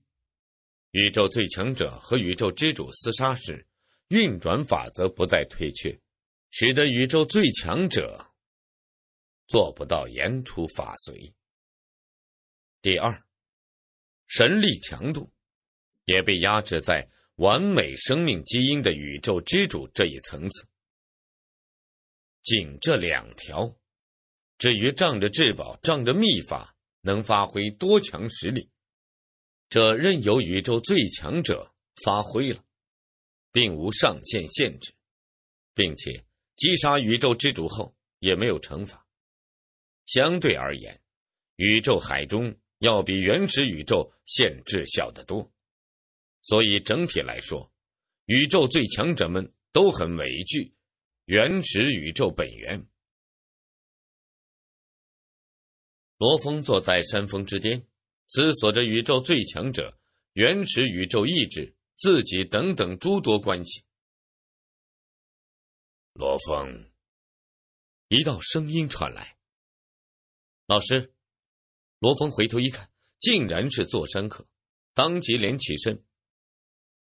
老师，你不是修复封魔灭神甲吗？修复好了。座山客一挥手。一道黑色甲铠直接飞向罗峰，罗峰吃惊看着座山客，这，这才两天没到，哈哈，仅仅一个修复，你以为要花费我多少心力呀？座山客审视着罗峰，我刚才看你坐在那儿，在想什么呢？我在想，原始宇宙本源意志、宇宙最强者、宇宙之主，还有我自己。座山客听了之后一怔，沉默了，沉默了许久。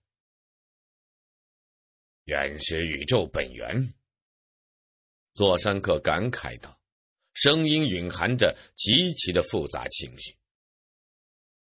当没有成为宇宙最强者时，都只是原始宇宙的孩子。他会呵护你，可一旦成了宇宙最强者，小型宇宙脱离出原始宇宙，在宇宙海中生存，那宇宙最强者便是原始宇宙本源的敌视目标。压制，压制，一直是压制。轮回，轮回呀！每个轮回时代，都是原始宇宙本源孕育、诞生、毁灭万物的一个过程。座山客感慨：“你们人类元祖真的很厉害。”敬敬什么？罗峰忍不住追问。座山客摇摇头：“别问了。”你不是随时都能进虚拟宇宙吗？如果你够强，引起元祖注意，你便能和他正式交谈了。或许他会告诉你，当年他为什么那么做。我也仅仅是一些猜测，做不得准。罗峰心中痒痒的，元祖当年。敢挑衅原始宇宙本源，敢那么做，肯定有一个目的，很逆天的目的。可就连混沌城主老师都没告诉过自己，元祖为何去违逆原始宇宙本源。别想那么多，对你太遥远。座山客笑着看着罗峰：“你多想想自己即可。等你成了宇宙之主，加上星辰塔在手，和宇宙最强者的差距完全可以忽略。”罗峰摇头：“即使成了宇宙之主，在秘法上……”和宇宙最强者差距依旧很大。自己虽见过虚真魔神和祖神交手，可那是在原始宇宙，威能并不算大。可这次第三真主、第六真主、巨斧创始者的交手，真的让自己感到巨大的差距。你错了。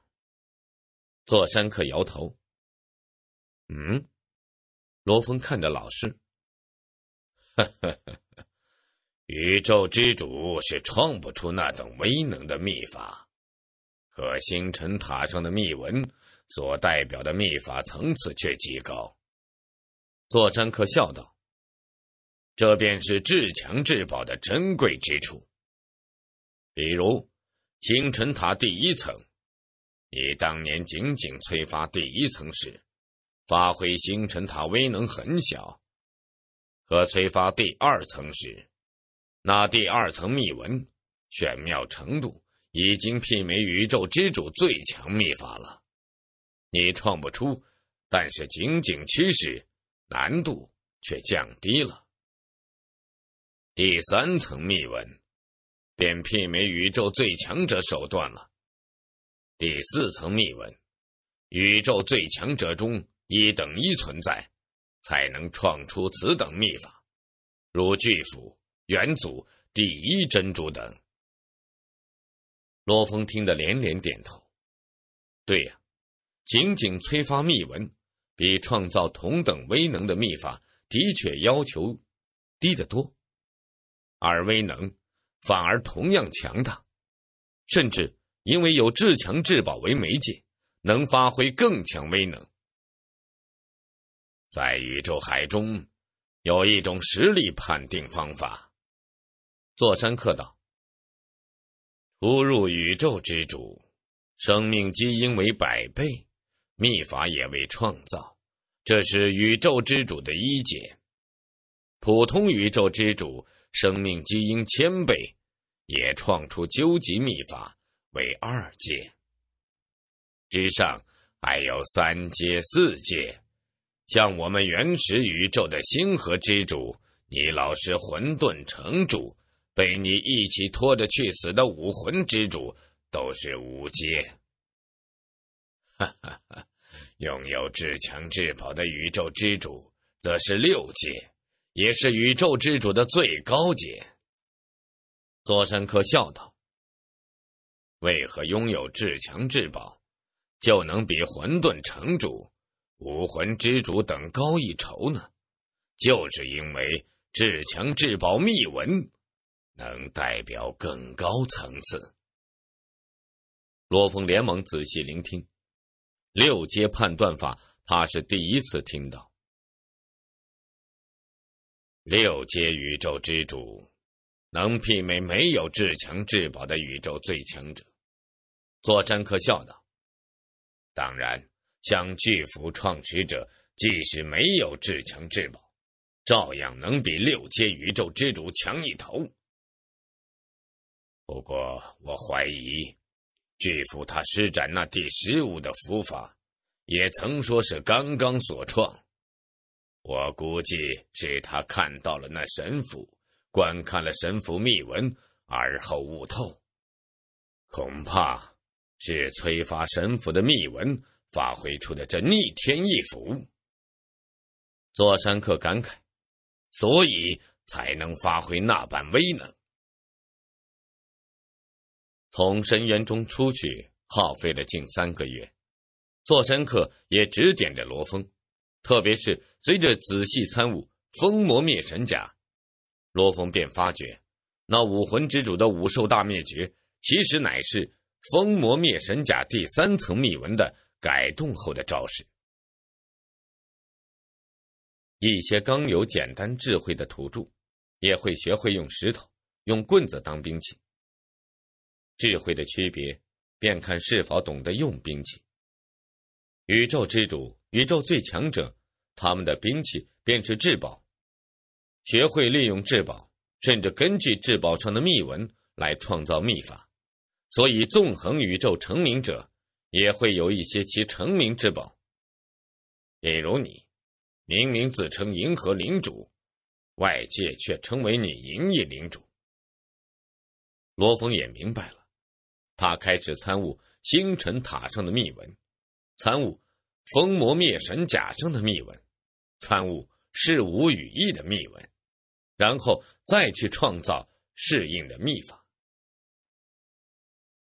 而自己的神力化身，则是在隐秘空间参悟着那比元祖巨斧创始者更加逆天的古老存在留下的最强绝学秘文图，还有座山客参悟留下的六大秘文图。彼此印证，使得罗峰进步速度进入一个高速区。封魔灭神甲上其他防御秘文等境界迅速悟透，那金色右手上的三重攻击秘文也迅速的悟透两重，第三重也隐约明白大半，估摸着再耗费些时月便能弄明白。这封魔灭神甲上的金色右手第三重秘文，不如星辰塔第三重，却也达到了宇宙之主融合最强秘法的威力。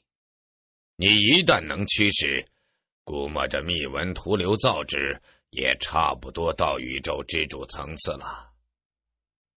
好了，现在已出了深渊，我这就走了。可别再发生这种事了。是，老师。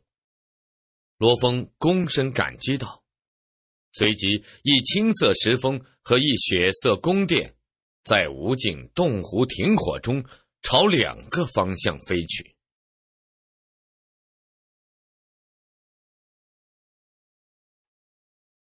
欢迎收听科幻小说《吞噬星空》第二十三篇，第五十章。猎金和银翼，深渊一役影响很大。然而，神眼族虽然吃亏，却并没有对外传播，使得整个宇宙海各大势力并不知道，宇宙海又多了一个近乎元祖般的存在。至于深渊一役中银翼至宝灭绝神铠的最后归属，却成了一个谜。令无数强者疑惑道：“到底是谁得到了？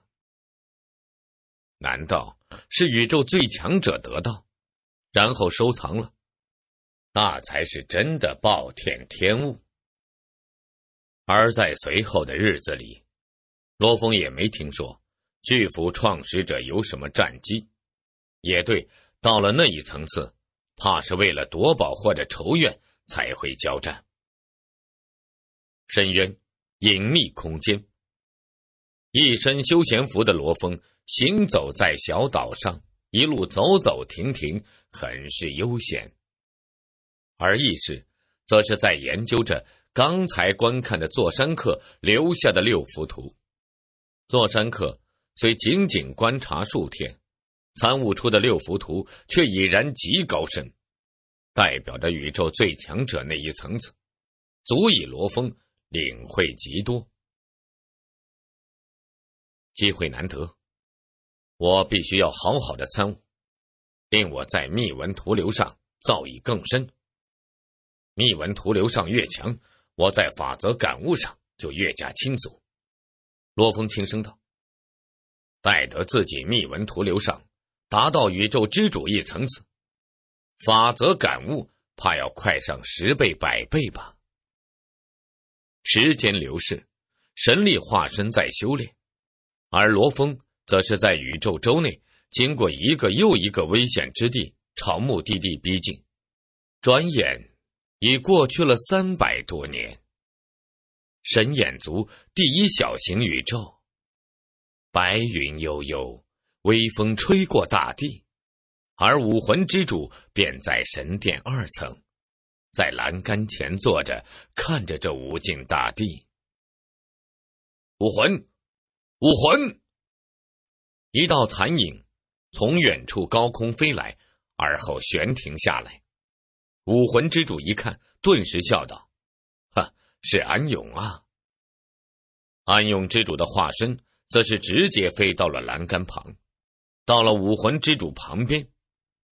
这神眼族。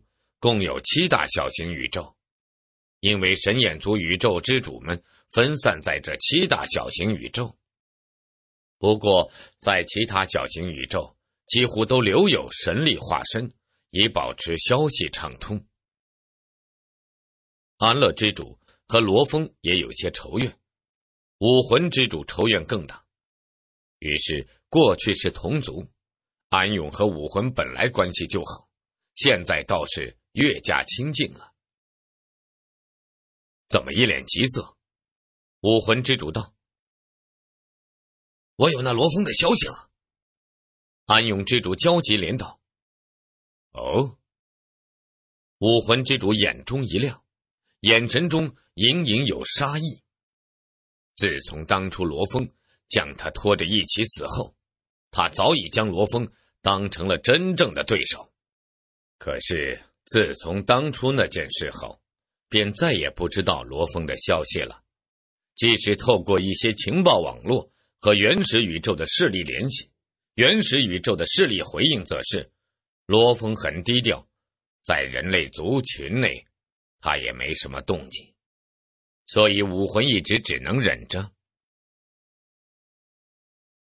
我还以为没了那银色羽翼，他就不敢进宇宙海了。告诉我他在哪儿？武魂之主连问道。就在宇宙州。安永之主连道。什么？就在宇宙州？武魂之主大吃一惊。他还敢去宇宙州？他不但敢去宇宙州，而且还在宇宙州内域，并且……安永之主不忿道。他都进入内域极深区了。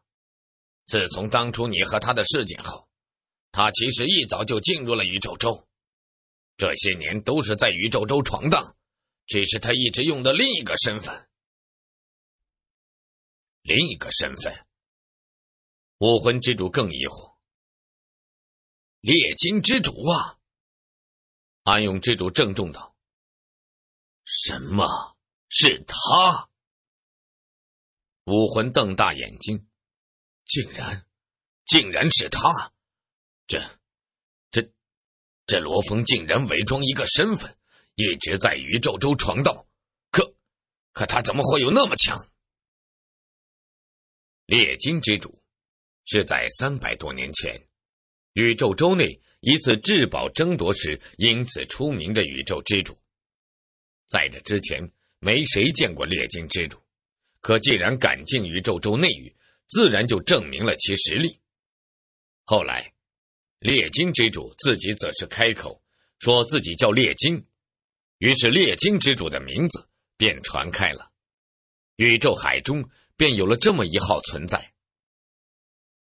这次仅仅是露个手，在后面的三百年中，也有过两次争宝之战，都属于小打小闹。可也证明了猎金之主的实力，应该勉强有四阶能耐。武魂，这次是在波星海。安永之主连忙说道：“波星海，论危险程度，不亚于灭神剑，并且波星海更加浩广，有好几处容易出现至宝的地方，所以在那有好几股势力，而之前。”刚好有一顶级领域类至宝出世，自然引起一场纷争。那猎金之主也插手了，这次争夺格外惨烈，连我们这一轮回时代的那龇牙之主都陨落了主战本尊。最后那猎金之主竟然发飙，实力更加强大，应该有四阶顶级水准，一举夺得了那件至宝。因为波星海的强者多，一位在清风界曾亲眼见过罗峰的宇宙之主，第二轮回时代的雪苍之主，则是惊呼出来：“你是银翼领主！”这才让各方强者知晓，原来猎金之主就是银翼领主。暗涌之主说着，也不由摇头。仇敌如此大放光芒，自然心中很是不爽。罗峰之所以能隐藏身份，其实也正常。毕竟强者的生命气息不变，可样貌能轻易变化，而所谓的气息。一般是亲眼看到才能记住，或者是有虚拟宇宙来模拟那股气息，让你感应。而其他势力显然并无虚拟宇宙。其他轮回时代即使构造虚拟世界，还无法完全虚拟出宇宙之主、宇宙最强者的生命气息，这点很难。他的实力竟然这么强了，武魂之主眉头紧锁。他当初进入宇宙海，就把我的本尊搞得陨落。当时我就有预感，将来这个罗峰恐怕会是我的大敌。可是没想到，这才多久，他就竟然达到四阶顶级水准。怎么办？安永之主看向武魂之主。安永之主怕倒是不怕，就是头疼。他因为分身缘故，想要他死是很难的。可是安永之主却头疼那罗峰现如今的实力。没想到短短这些年过去，没了银翼至宝的辅助，那罗峰都能展露这么强的近战实力。出发！武魂之主郑重道：“出发前往宇宙州。”可，可他都到了波星海呀！安永之主连道：“波星海可是在内域较深处，从外域进去，闯过一个个险地，等到了波星海，那可要很长时间。那个时候，那罗峰恐怕又不知道到哪里去了。我们去追这，现在不追，以后想要追他就更难。”武魂之主郑重道：“我马上出发，你呢？”“好，我和你一起走。”安永之主点头。“嗯。”武魂之主点头。武魂倒是不介意带着安永，因为安永一来有分身，二来神体缘故，保命能力极强，那么完全是去缠住罗峰的一个好帮手。至少在保命、拖延敌人方面。安永之主要比鸠剑之主强一头。哼，罗峰。武魂之主眼中杀机隐现。一旦被我们追到，他必死。安永之主也咬牙道：“面临大限，只能寄希望于宇宙最强者。所以，第一轮回时代的宇宙之主们自身无法挣扎，就会更加的疯狂。”时间继续往前走，不会因为谁而停下。茫茫宇宙海，原始宇宙，诸多小型宇宙，无数的生灵在诞生，无数的生命覆灭。对强者而言，只是一个静思的时间，或许就是其他生命一生的寿命。武魂之主、安永之主虽然去追了。可是他们和罗峰距离太远了，加上并无罗峰将来的前进路线，自然想要追到极难极难。就算追到，那也是很久以后了。不过这所谓的很久，对武魂之主这种活了近三个轮回时代的存在而言，也不算什么。罗峰进入宇宙周的第六百二十年，虚拟宇宙。雷霆岛之巅的宫殿。黑纹石柱，混沌城主惊讶道：“你要去那通天魔柱处魔力意志？魔力意志的地方有很多，比通天魔柱处要近的也有不少。为何你去那儿？”嗯，罗峰郑重点头。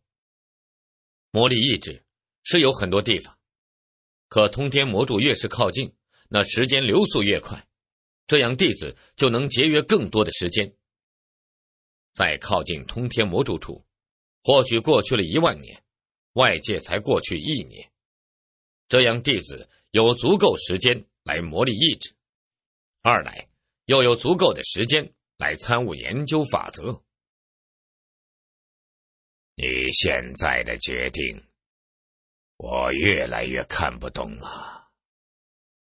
唉，不过你的进步也让我看不懂。既然你要抵达通天魔主处了，我不多说了。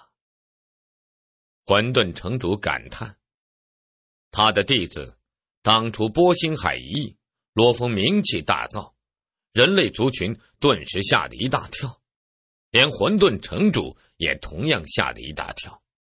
他们以为一直低调。”没动静的罗峰，因为损失银翼至宝，所以低调潜伏。可没想到，竟然更加逆天了。最震惊的就是混沌城主、巨斧创始者等几个了，因为他们知道罗峰还没有跨入宇宙之主级，没进宇宙之主，竟然都是顶尖水准了，这也太逆天了吧！为了这事。混沌城主、巨斧创始者在虚拟宇宙中亲自来和罗峰切磋，这才发现，罗峰虽然神力仅仅相当于生命基因百倍的宇宙之主，可是秘法却极强。按照罗峰自己在虚拟宇宙中模拟的封魔灭神甲，而后催发施展出的秘法，都已然是融合最强秘法了。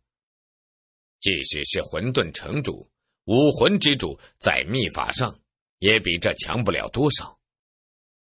这时，罗峰才公开说，自己走的是秘文图流。虽说仅仅是宇宙之主，却已然创出了宇宙之主最强秘法，更能驱使那至宝的第三重秘法。这数百年。因为参悟那六大秘文图，参悟那古老秘文图，特别是波星海一役、生死厮杀中，我心有感悟。顿时，秘文图流造诣终于突破瓶颈，达到宇宙之主层次，都已然创出了宇宙之主最强秘法列经，更能驱使封魔灭神甲第三重秘文。催发封魔灭神甲第三重秘文，我神力虽然差一筹，可实力却算是四阶顶级。若是跨入宇宙之主，神力再弥补，便是五阶顶级。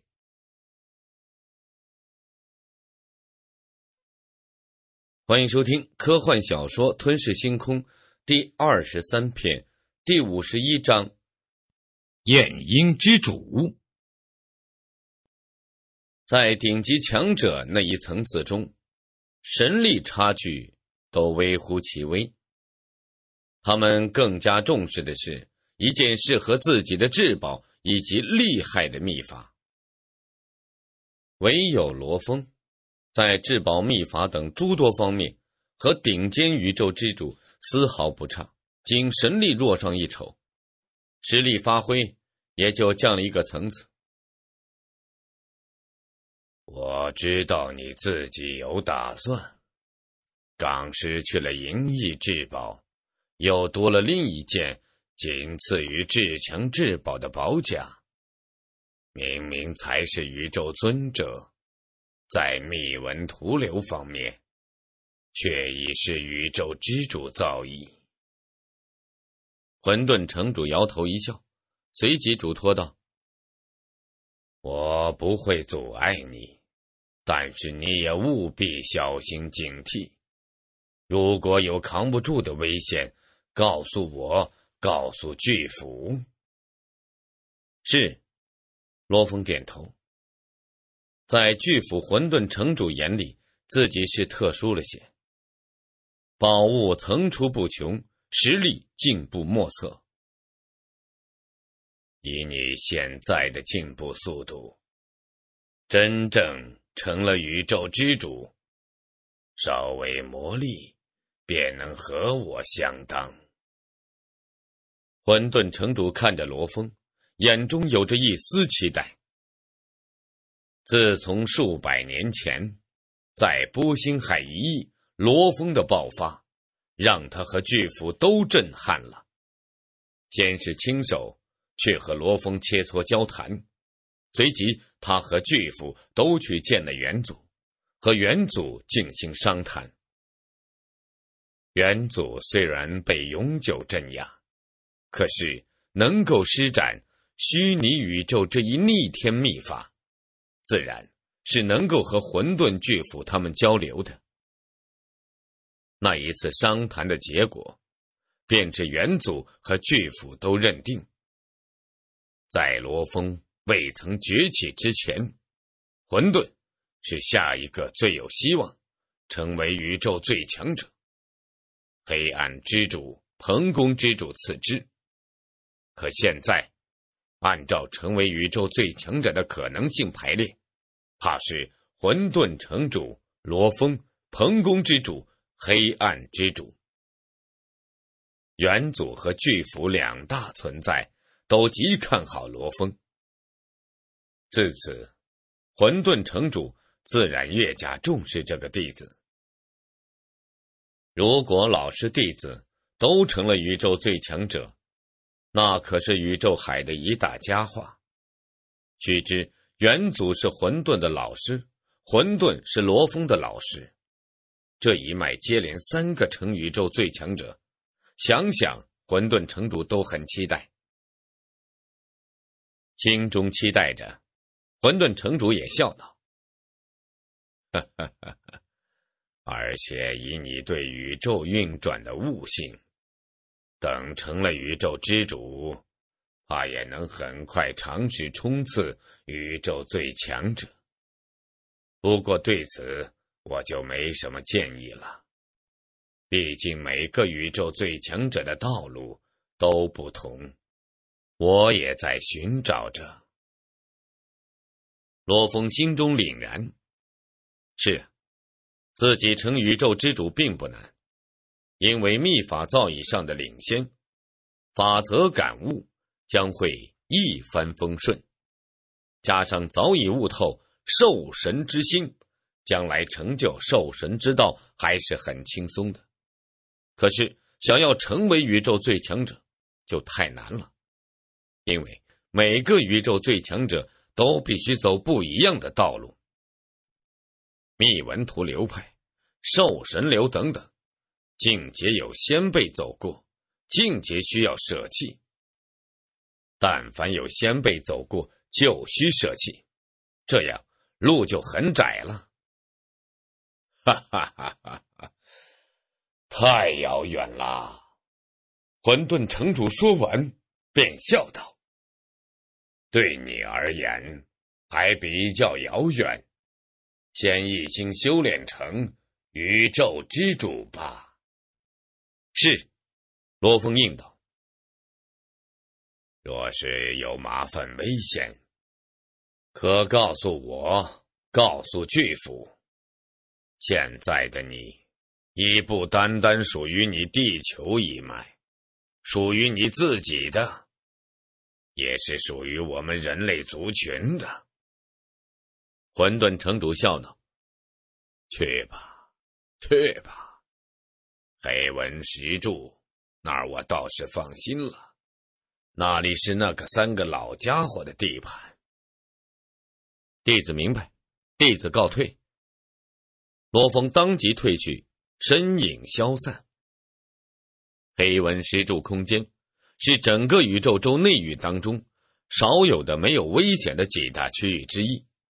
强者彼此厮杀的危险当然不算。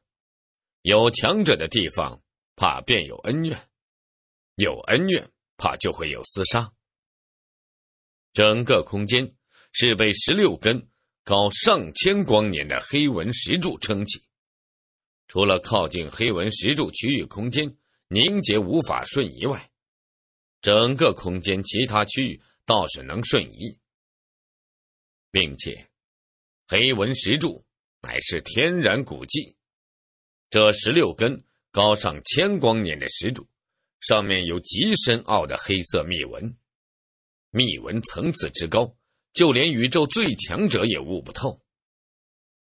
不过，就像罗峰在隐秘空间看到的那一古老存在的最强绝学一样，因为没有按部就班，没有从容易到艰深的一个逐渐过渡。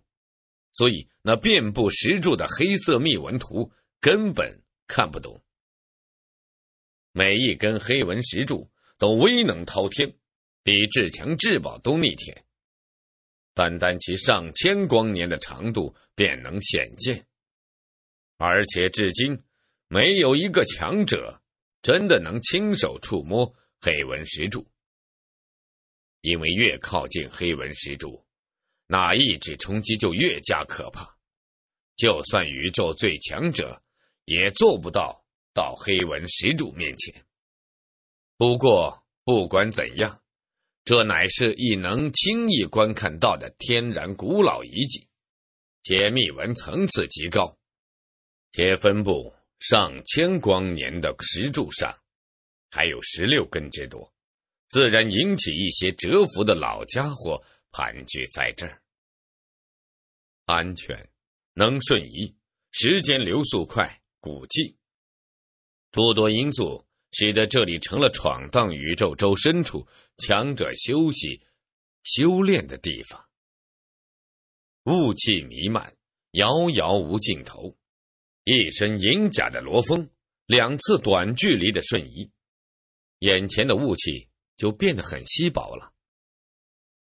因为黑纹石柱空间，也就最高处最下方，四周最边缘地带雾气浓郁，而中央分散开的十六根黑纹石柱周围却没有丝毫雾气。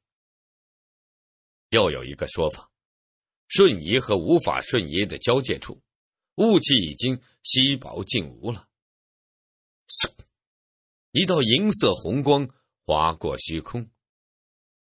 哈哈，耗费六百二十年岁月，我终于抵达黑纹石柱空间了。罗峰化为红光，满脸笑容，心中畅快肆意。不过，做山客，混沌城主两位老师说的没错，战斗是最好的磨砺。我进宇宙周，一路闯荡而来，历经大量险地，生死战斗好些次。令我波星海一役时终有突破。自己虽然不是宇宙之主，可密文图流派上，自己已然是宇宙之主造诣。在波星海一役后的岁月中，自己更是创造了一套宇宙之主最强秘法。这可是媲美微型宇宙的最强秘法，且是攻击秘法。重要的是，自己亲手所创，也证明了自己的能力。当初自己以炼金之主身份进行，后来创出这套最强秘法后，才直接命名为炼金。炼金是自己所创秘法，不过自己最强的招数，则是封魔灭神甲右手的第三重秘纹，被自己特意命名为。灭神。嗯，罗峰转头看向远处，虽化为银色红光，高速飞行，可自己还是释放着血火界的。血火界乃是自己此次宇宙周闯荡以来得到的数件至宝之一，乃是顶级领域类至宝。便是因为它，使得波星海一役一些强者。为之争夺。竟然碰到鸿蒙的，罗峰笑了。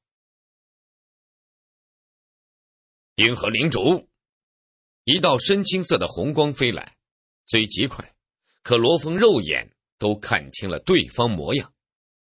正是鸿蒙中以异族宇宙之主燕鹰之主。燕鹰之主在鸿蒙中的地位也算较高，因为其实力极强，属于和冰封之主一层次，平常都是在三大绝地内域闯荡。也有诸多手段在身，极擅长保命，也是极难招惹的。早听说银河领主得了一新的领域至宝，呈无尽蓝色火焰笼罩。我之前的领域一发现，就怀疑是银河领主你，所以就赶来了。一看，果真是，哈哈哈哈！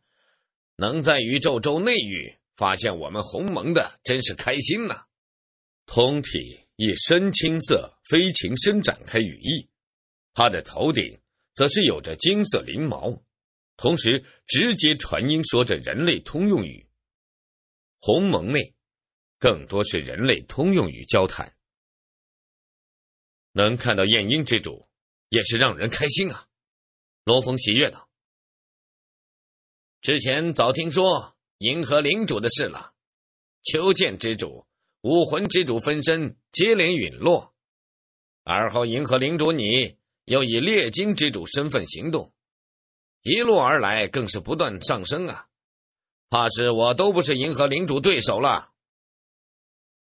眼鹰之主夸了一番，罗峰一笑，对方提的也是自己做的真实事件，却是超级强者来拍马屁。自然很是愉悦。燕营之主谦虚了，罗峰笑道：“不知银河之主，你来这黑纹石柱空间是？”燕鹰之主在罗峰一旁，二者并化作两道红光飞行着，并且神力为媒介，彼此交谈着。我来这儿，是准备借助黑纹石柱魔力意志。罗峰直接道：“哦。”夜莺之主惊讶了。魔力意志，宇宙海三大轮回时代，两大圣地宇宙，专门来这魔力意志的倒是不算多，大多在这儿的是暂时在这休息，或者是参悟那黑纹石柱上的秘文。我在这已经有些岁月，有些倒是要先告诉银河领主你呀。眼鹰之主，请说。罗峰道：“黑纹石柱空间因为极安全，又有古籍秘文，且极高深，所以这里一直盘踞着一群强者，特别是其中最强的三位存在。”眼鹰之主说：“那三位存在可都是宇宙最强者，有独行宇宙最强者。”也有有族群的，分别是第一轮回时代的贝勒星主、雪兰氏族，和第二轮回时代的横行魔神。这我知道。罗峰点头。我想要告诉你的是，这三位的脾性。燕鹰之主道：“贝勒星主性格极好，只要你对他尊重。”倒也没事，可雪兰之主乃是植物生命，他所遍布区域，绝对不能靠近他百万公里内，否则有陨落危险。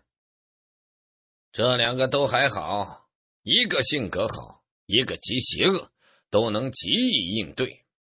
最麻烦的是横行魔神。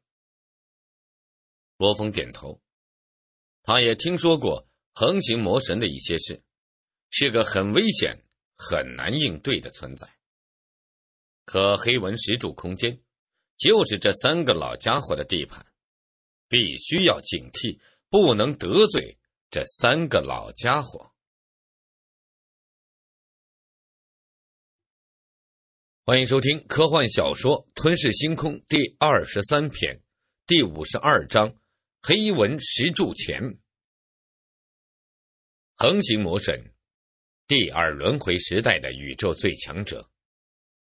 罗峰脑海中有着大量三大轮回时代、两大盛大宇宙的宇宙最强者的一些讯息。宇宙最强者也有区别，有些擅长灵魂方面。有些擅长物质湮灭，有没有至强至宝差别也很大。而在宇宙海的最强者，横行魔神却极为可怕。敢称横行，也能看出一二。论自身实力，他只能算是宇宙最强者中普通水准，可称得上可怕，便是因为他的那件至强至宝。他乃是特殊生命，天生喜欢吞噬岩石、金属等，天生就有着极为坚硬的外壳。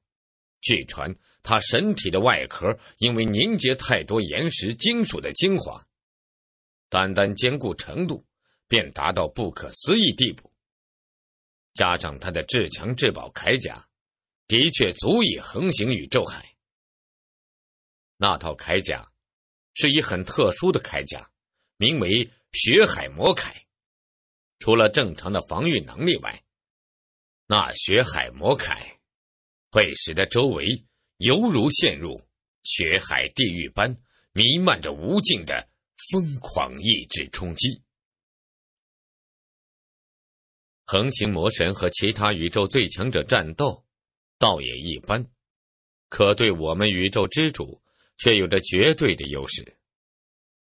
燕鹰之主领导，他一旦发狂，他的至强至宝迸发的意志冲击，恐怕就是宇宙最强者都得稍微受些影响，而我们宇宙之主恐怕会瞬间处于茫然状态，毫无反抗状态呀。罗峰郑重点头。而且他喜怒无常。燕鹰之主飞行着，同时感叹：“要是独行者，根本不怕惹祸，所以遇到横行魔神都得绕着走。如果不是北了星主，像我，还有其他一些宇宙之主，恐怕早就离开这儿了。”燕鹰之主道。贝勒星主性格极好，加上他长期参悟那黑纹石柱，一般略有所得。贝勒星主就会公开讲解，令我等收获不小。能这般愿意教导我们的宇宙最强者太少了，所以我等都不愿离开。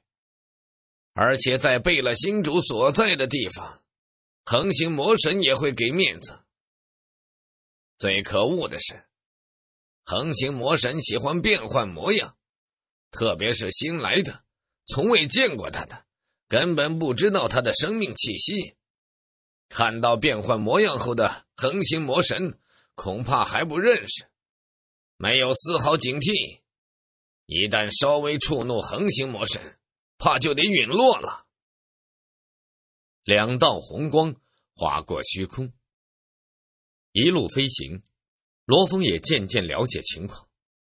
黑纹石柱空间共十六根黑纹石柱，其中雪兰氏族长期在九号黑纹石柱，而贝勒星主则长期在二号黑纹石柱。至于横行魔神，却是没有定所，喜欢四处乱窜，伪装身份。若是认出他的气息也罢，若是不认识，便危险了。前面就是二号黑纹石柱，是整个黑纹石柱空间聚集强者最多的地方。燕鹰之主双翼一震，高速破空，朝那二号通天魔柱飞去。并列飞行的罗峰一眼看去，巍峨高无尽，高直接延伸到视野的极限，穿进那雾气中，而黑纹石柱的底部。也同样渗透到最下方无尽雾气中，海量的巨大岩石绕着黑纹石柱旋转着飞行，就仿佛地球绕着太阳飞。这些巨大岩石也永不疲倦的绕着黑纹石柱飞，并且在密密麻麻、无穷无尽的巨大岩石中。还有着最显眼的雕刻精美的一些黑色尖顶建筑，那便是空间密室。我从武魂之主那儿得到黑色信物，却不知道这黑色信物对应的是哪里的空间密室。罗峰暗道：“这里可是有十六根黑纹石柱，每一根黑纹石柱周围。”都有一些空间密室，只有靠近属于我的空间密室，才能略有感应。看来，得十六根黑纹石柱，一个个去尝试。飞行中，燕鹰之主则是观察着罗峰。随着和二号黑纹石柱越来越近，那强大的意志冲击也越来越强。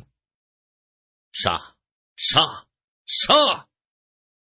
仿佛亿万军队厮杀、咆哮的怒吼。到了这里，一般刚成为宇宙之主的都需要全力抵抗意志冲击了。可燕鹰之主发现，这个罗峰竟然很是淡然，而无丝毫吃力之色。这个罗峰修炼短暂，难道他的意志也这般强大？燕鹰之主很是吃惊。我修炼很久，要在这磨砺漫长岁月，意志才能磨砺到一个高峰，才能轻易抵抗。他怎么能轻易扛住呢？燕鹰之主，罗峰遥指远处，远处一些环绕黑纹石柱飞行的岩石上，盘踞着一些强者生命。我一眼看去。便已看到数位强者，在这二号黑纹石柱处，一共有多少强者在这儿？近百位。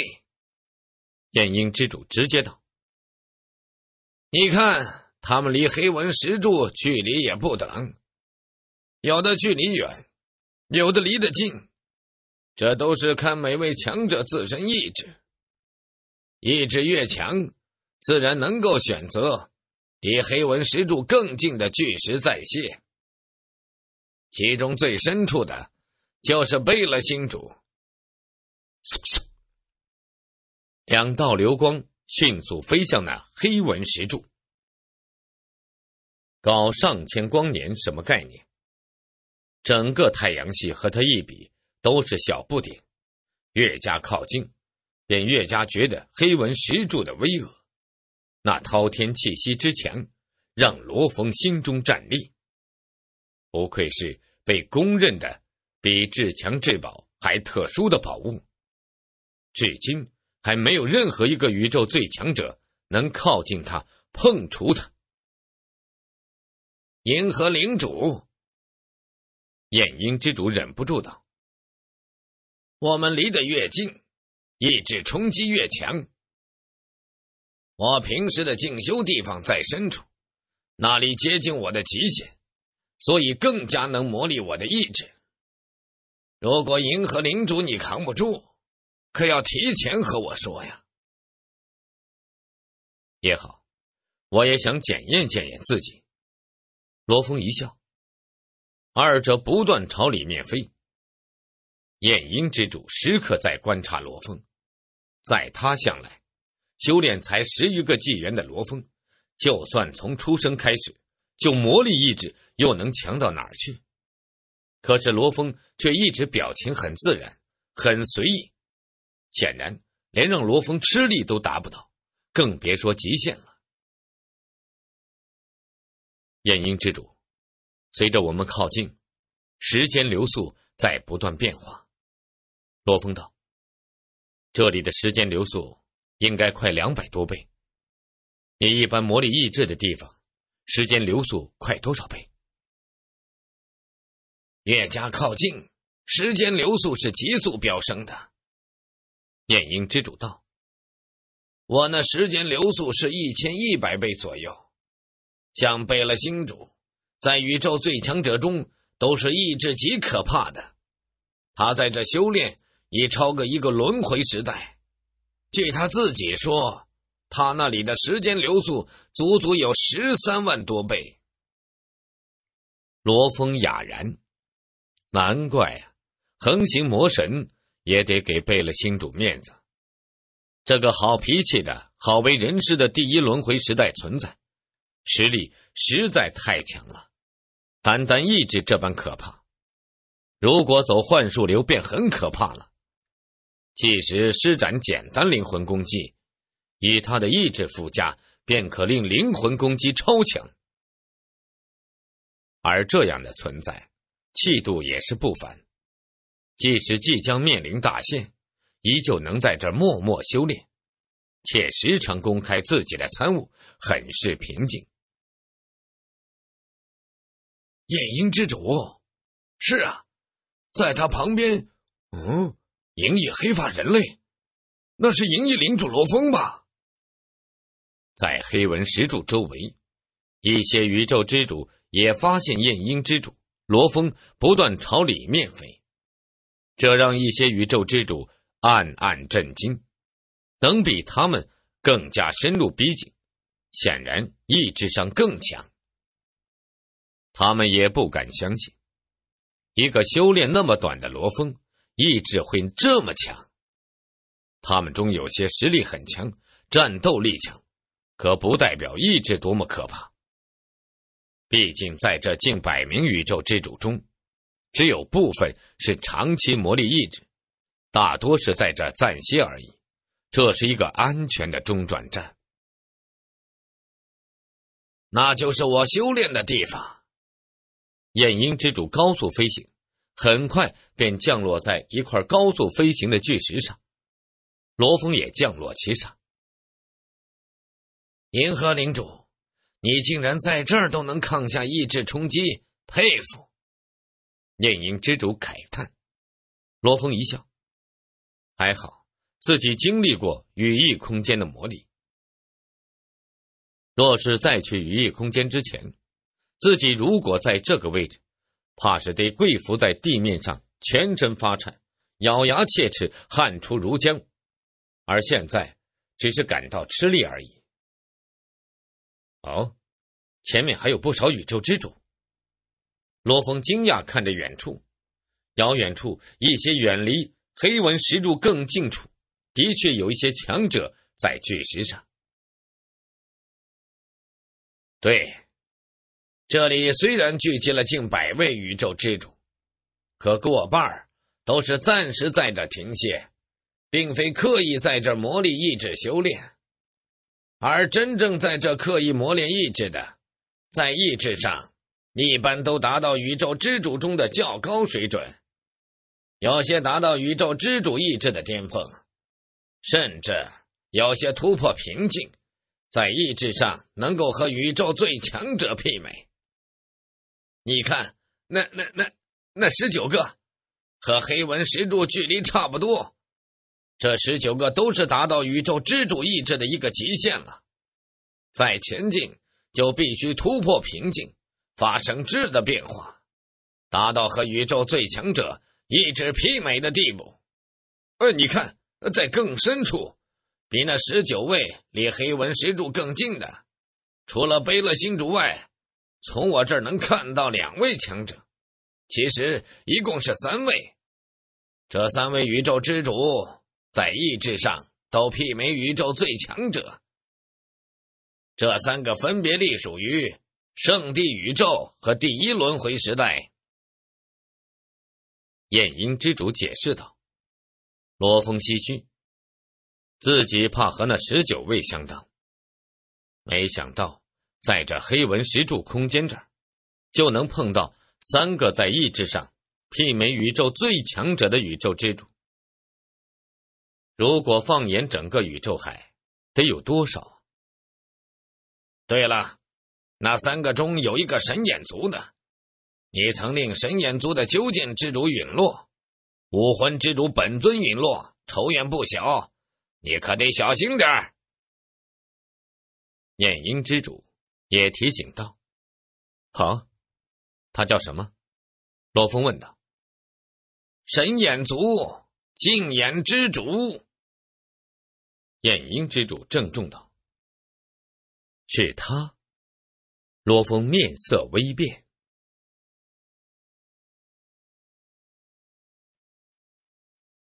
欢迎收听科幻小说《吞噬星空》第二十三篇，第五十三章《镜眼之主》。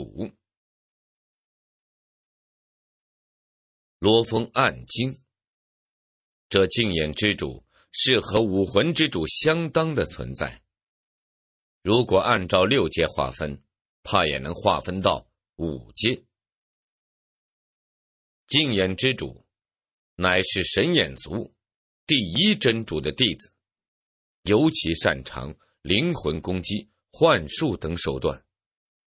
有幻术类特殊宝物净光镜，这净光镜论价值，怕也和封魔灭神甲相差无几。至少在净眼之主手里闯出了赫赫威名。论神力，这净眼之主接近完美极限。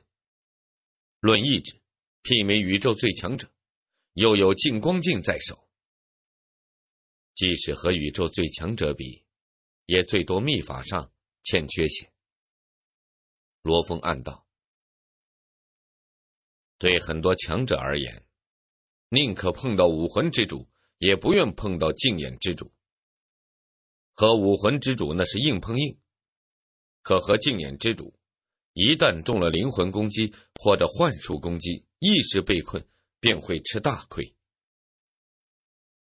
当然，虽然很多强者在武魂之主和净眼之主中选，更愿和武魂对战，可罗峰却是更愿和净眼之主对战。武魂之主真正战斗起来，自己还真的没有什么办法。炎鹰之主，你在这修炼，我便不打扰你了。”罗峰笑道。“银河领主，你在黑纹石柱空间魔力意志，若是有事，可随时透过虚拟宇宙找我，我一直在这儿。”燕鹰之主也道：“行。”罗峰当即便划过银色红光，朝黑纹石柱。继续飞进过去。嗯，是人类，竟有人类飞过来了。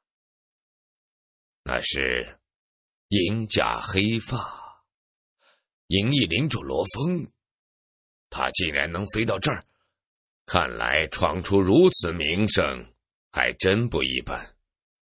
至少这意志便和我相差无几了。随着罗峰飞得越来越近，也让一些宇宙之主们注意到了。时间流速果然在急速飙升啊！一千五百倍，一千八百倍，两千三百倍，两千八百倍。罗峰感觉到时空的扭曲，空间早已凝结，时间流速更是快的可怕。当时间流速达到外界三千倍处，罗峰终于停下，直接降落在已飞行的巨大岩石上。其他十九位宇宙之主也差不多在这一距离。压迫好大呀！罗峰站在巨大的岩石上，遥看远处巍峨高大的通天魔柱。这里的意志冲击已经让我很难受，不过还好，不至于失态。难怪那十九位没有继续前进，若是再前进，怕就控制不了神体，得失态了。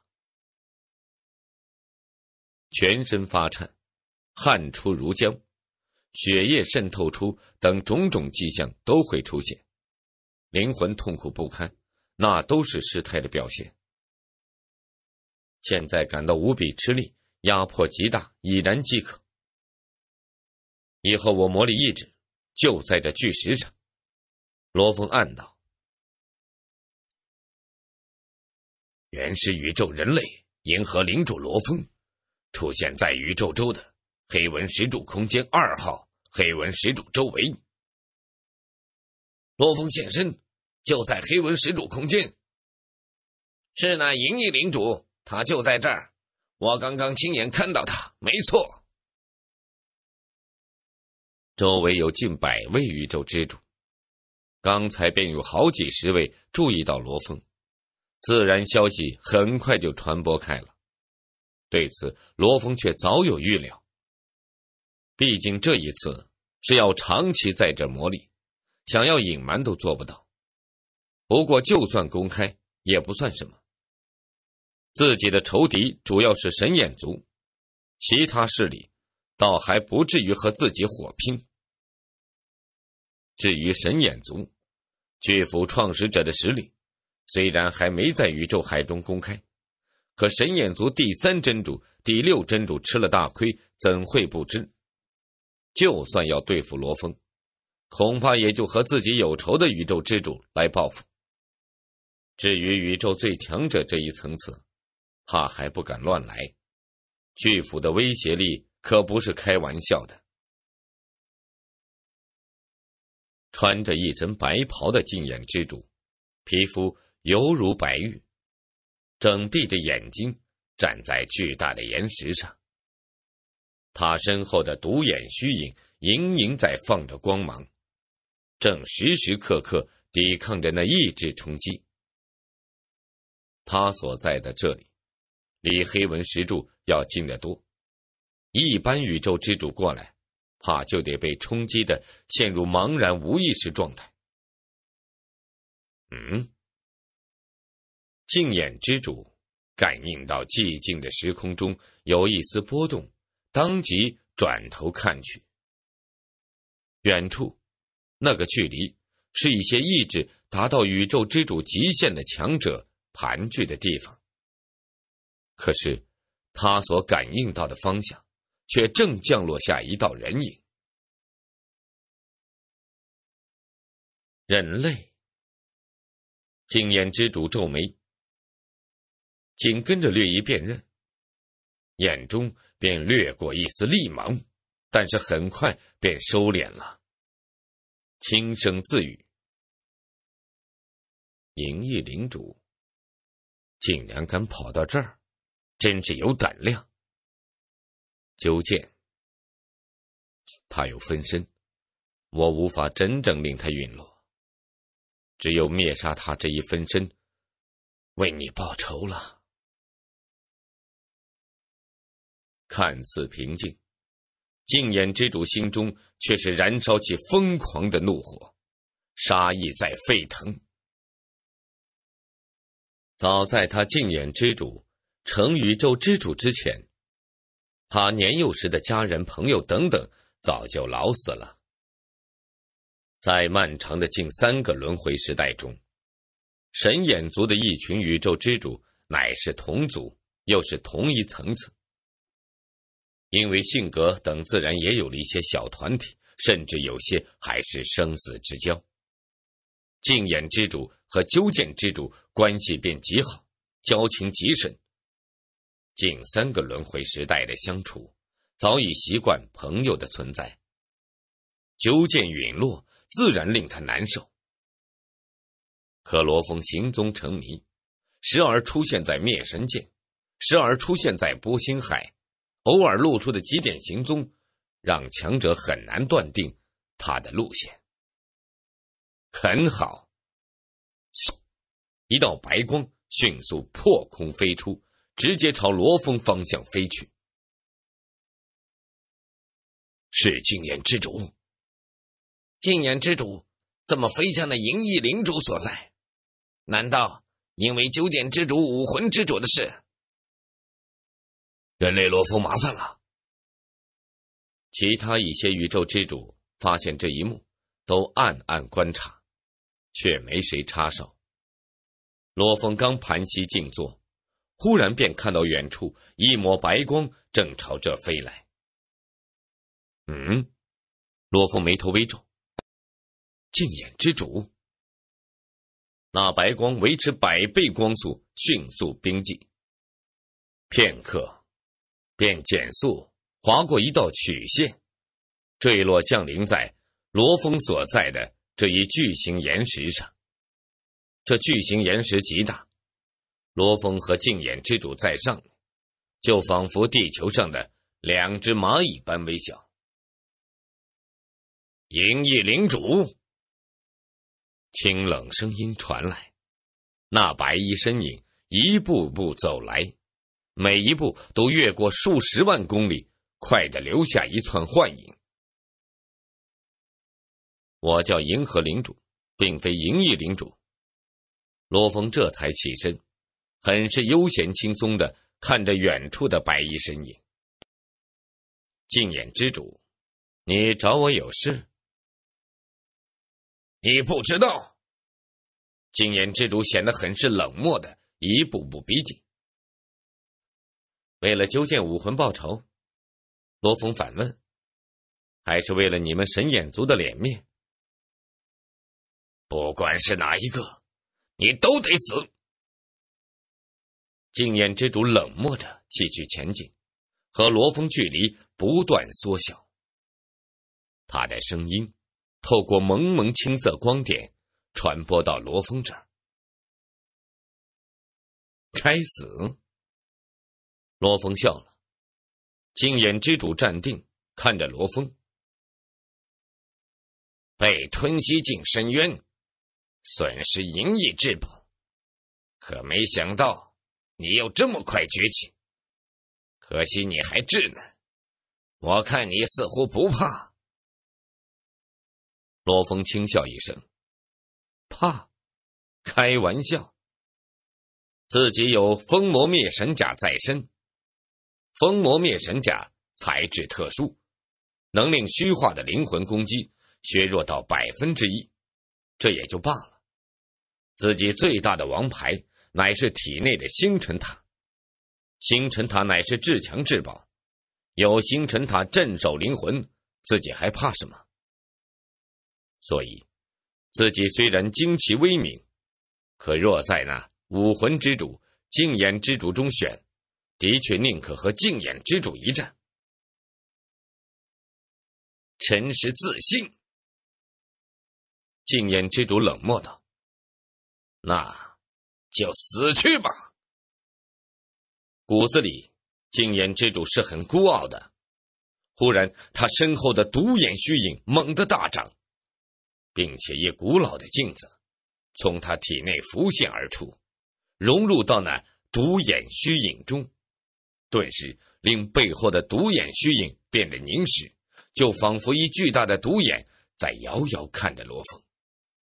一股无形的攻击便直接降临罗峰了。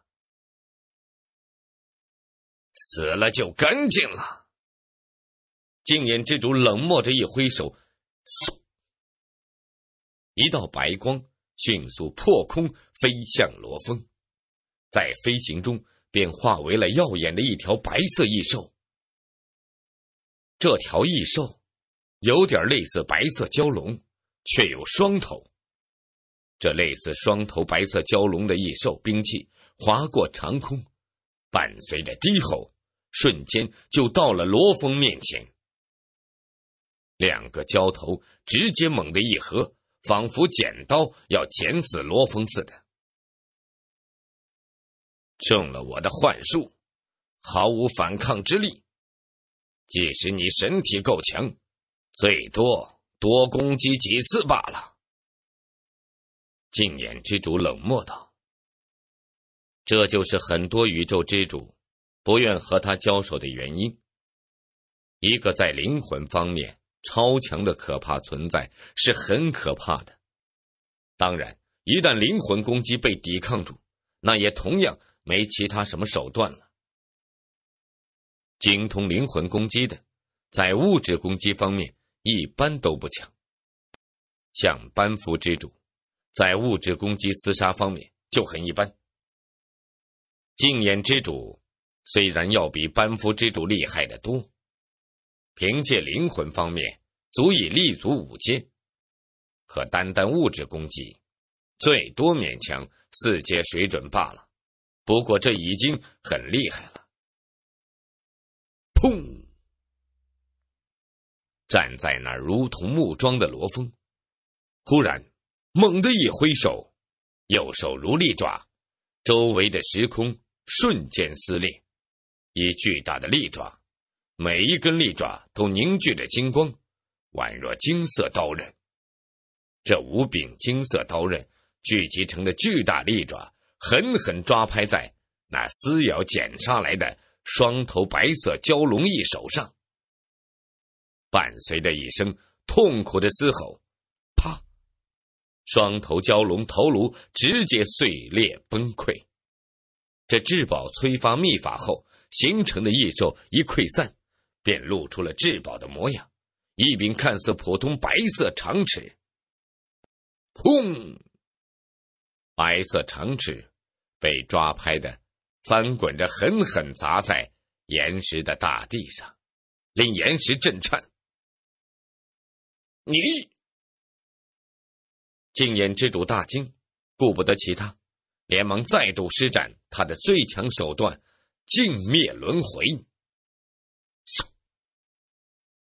罗峰却是一闪，作为兽神之道强者，领悟兽神之心后，身体每一处都能当兵器，秘法直接运用自身。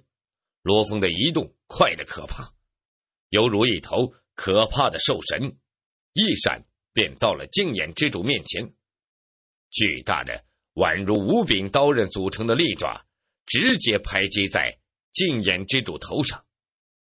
净眼之主竭力抵抗，却轰隆一声，仿佛馅饼一样，被打得直接趴在岩石大地的深坑中。就你，也想杀我？罗峰的怒吼响起：“做你的大梦去吧！你怎么能？”净眼之主从深坑中一闪，便要暴退，可他依旧不敢相信，他最自傲的绝招“镜灭轮回”竟失效了。这就是走灵魂一脉强者的弱点。若是对方受灵魂攻击影响，那么注定被蹂躏。可如果自己灵魂攻击失败了，那自己就要反被蹂躏了。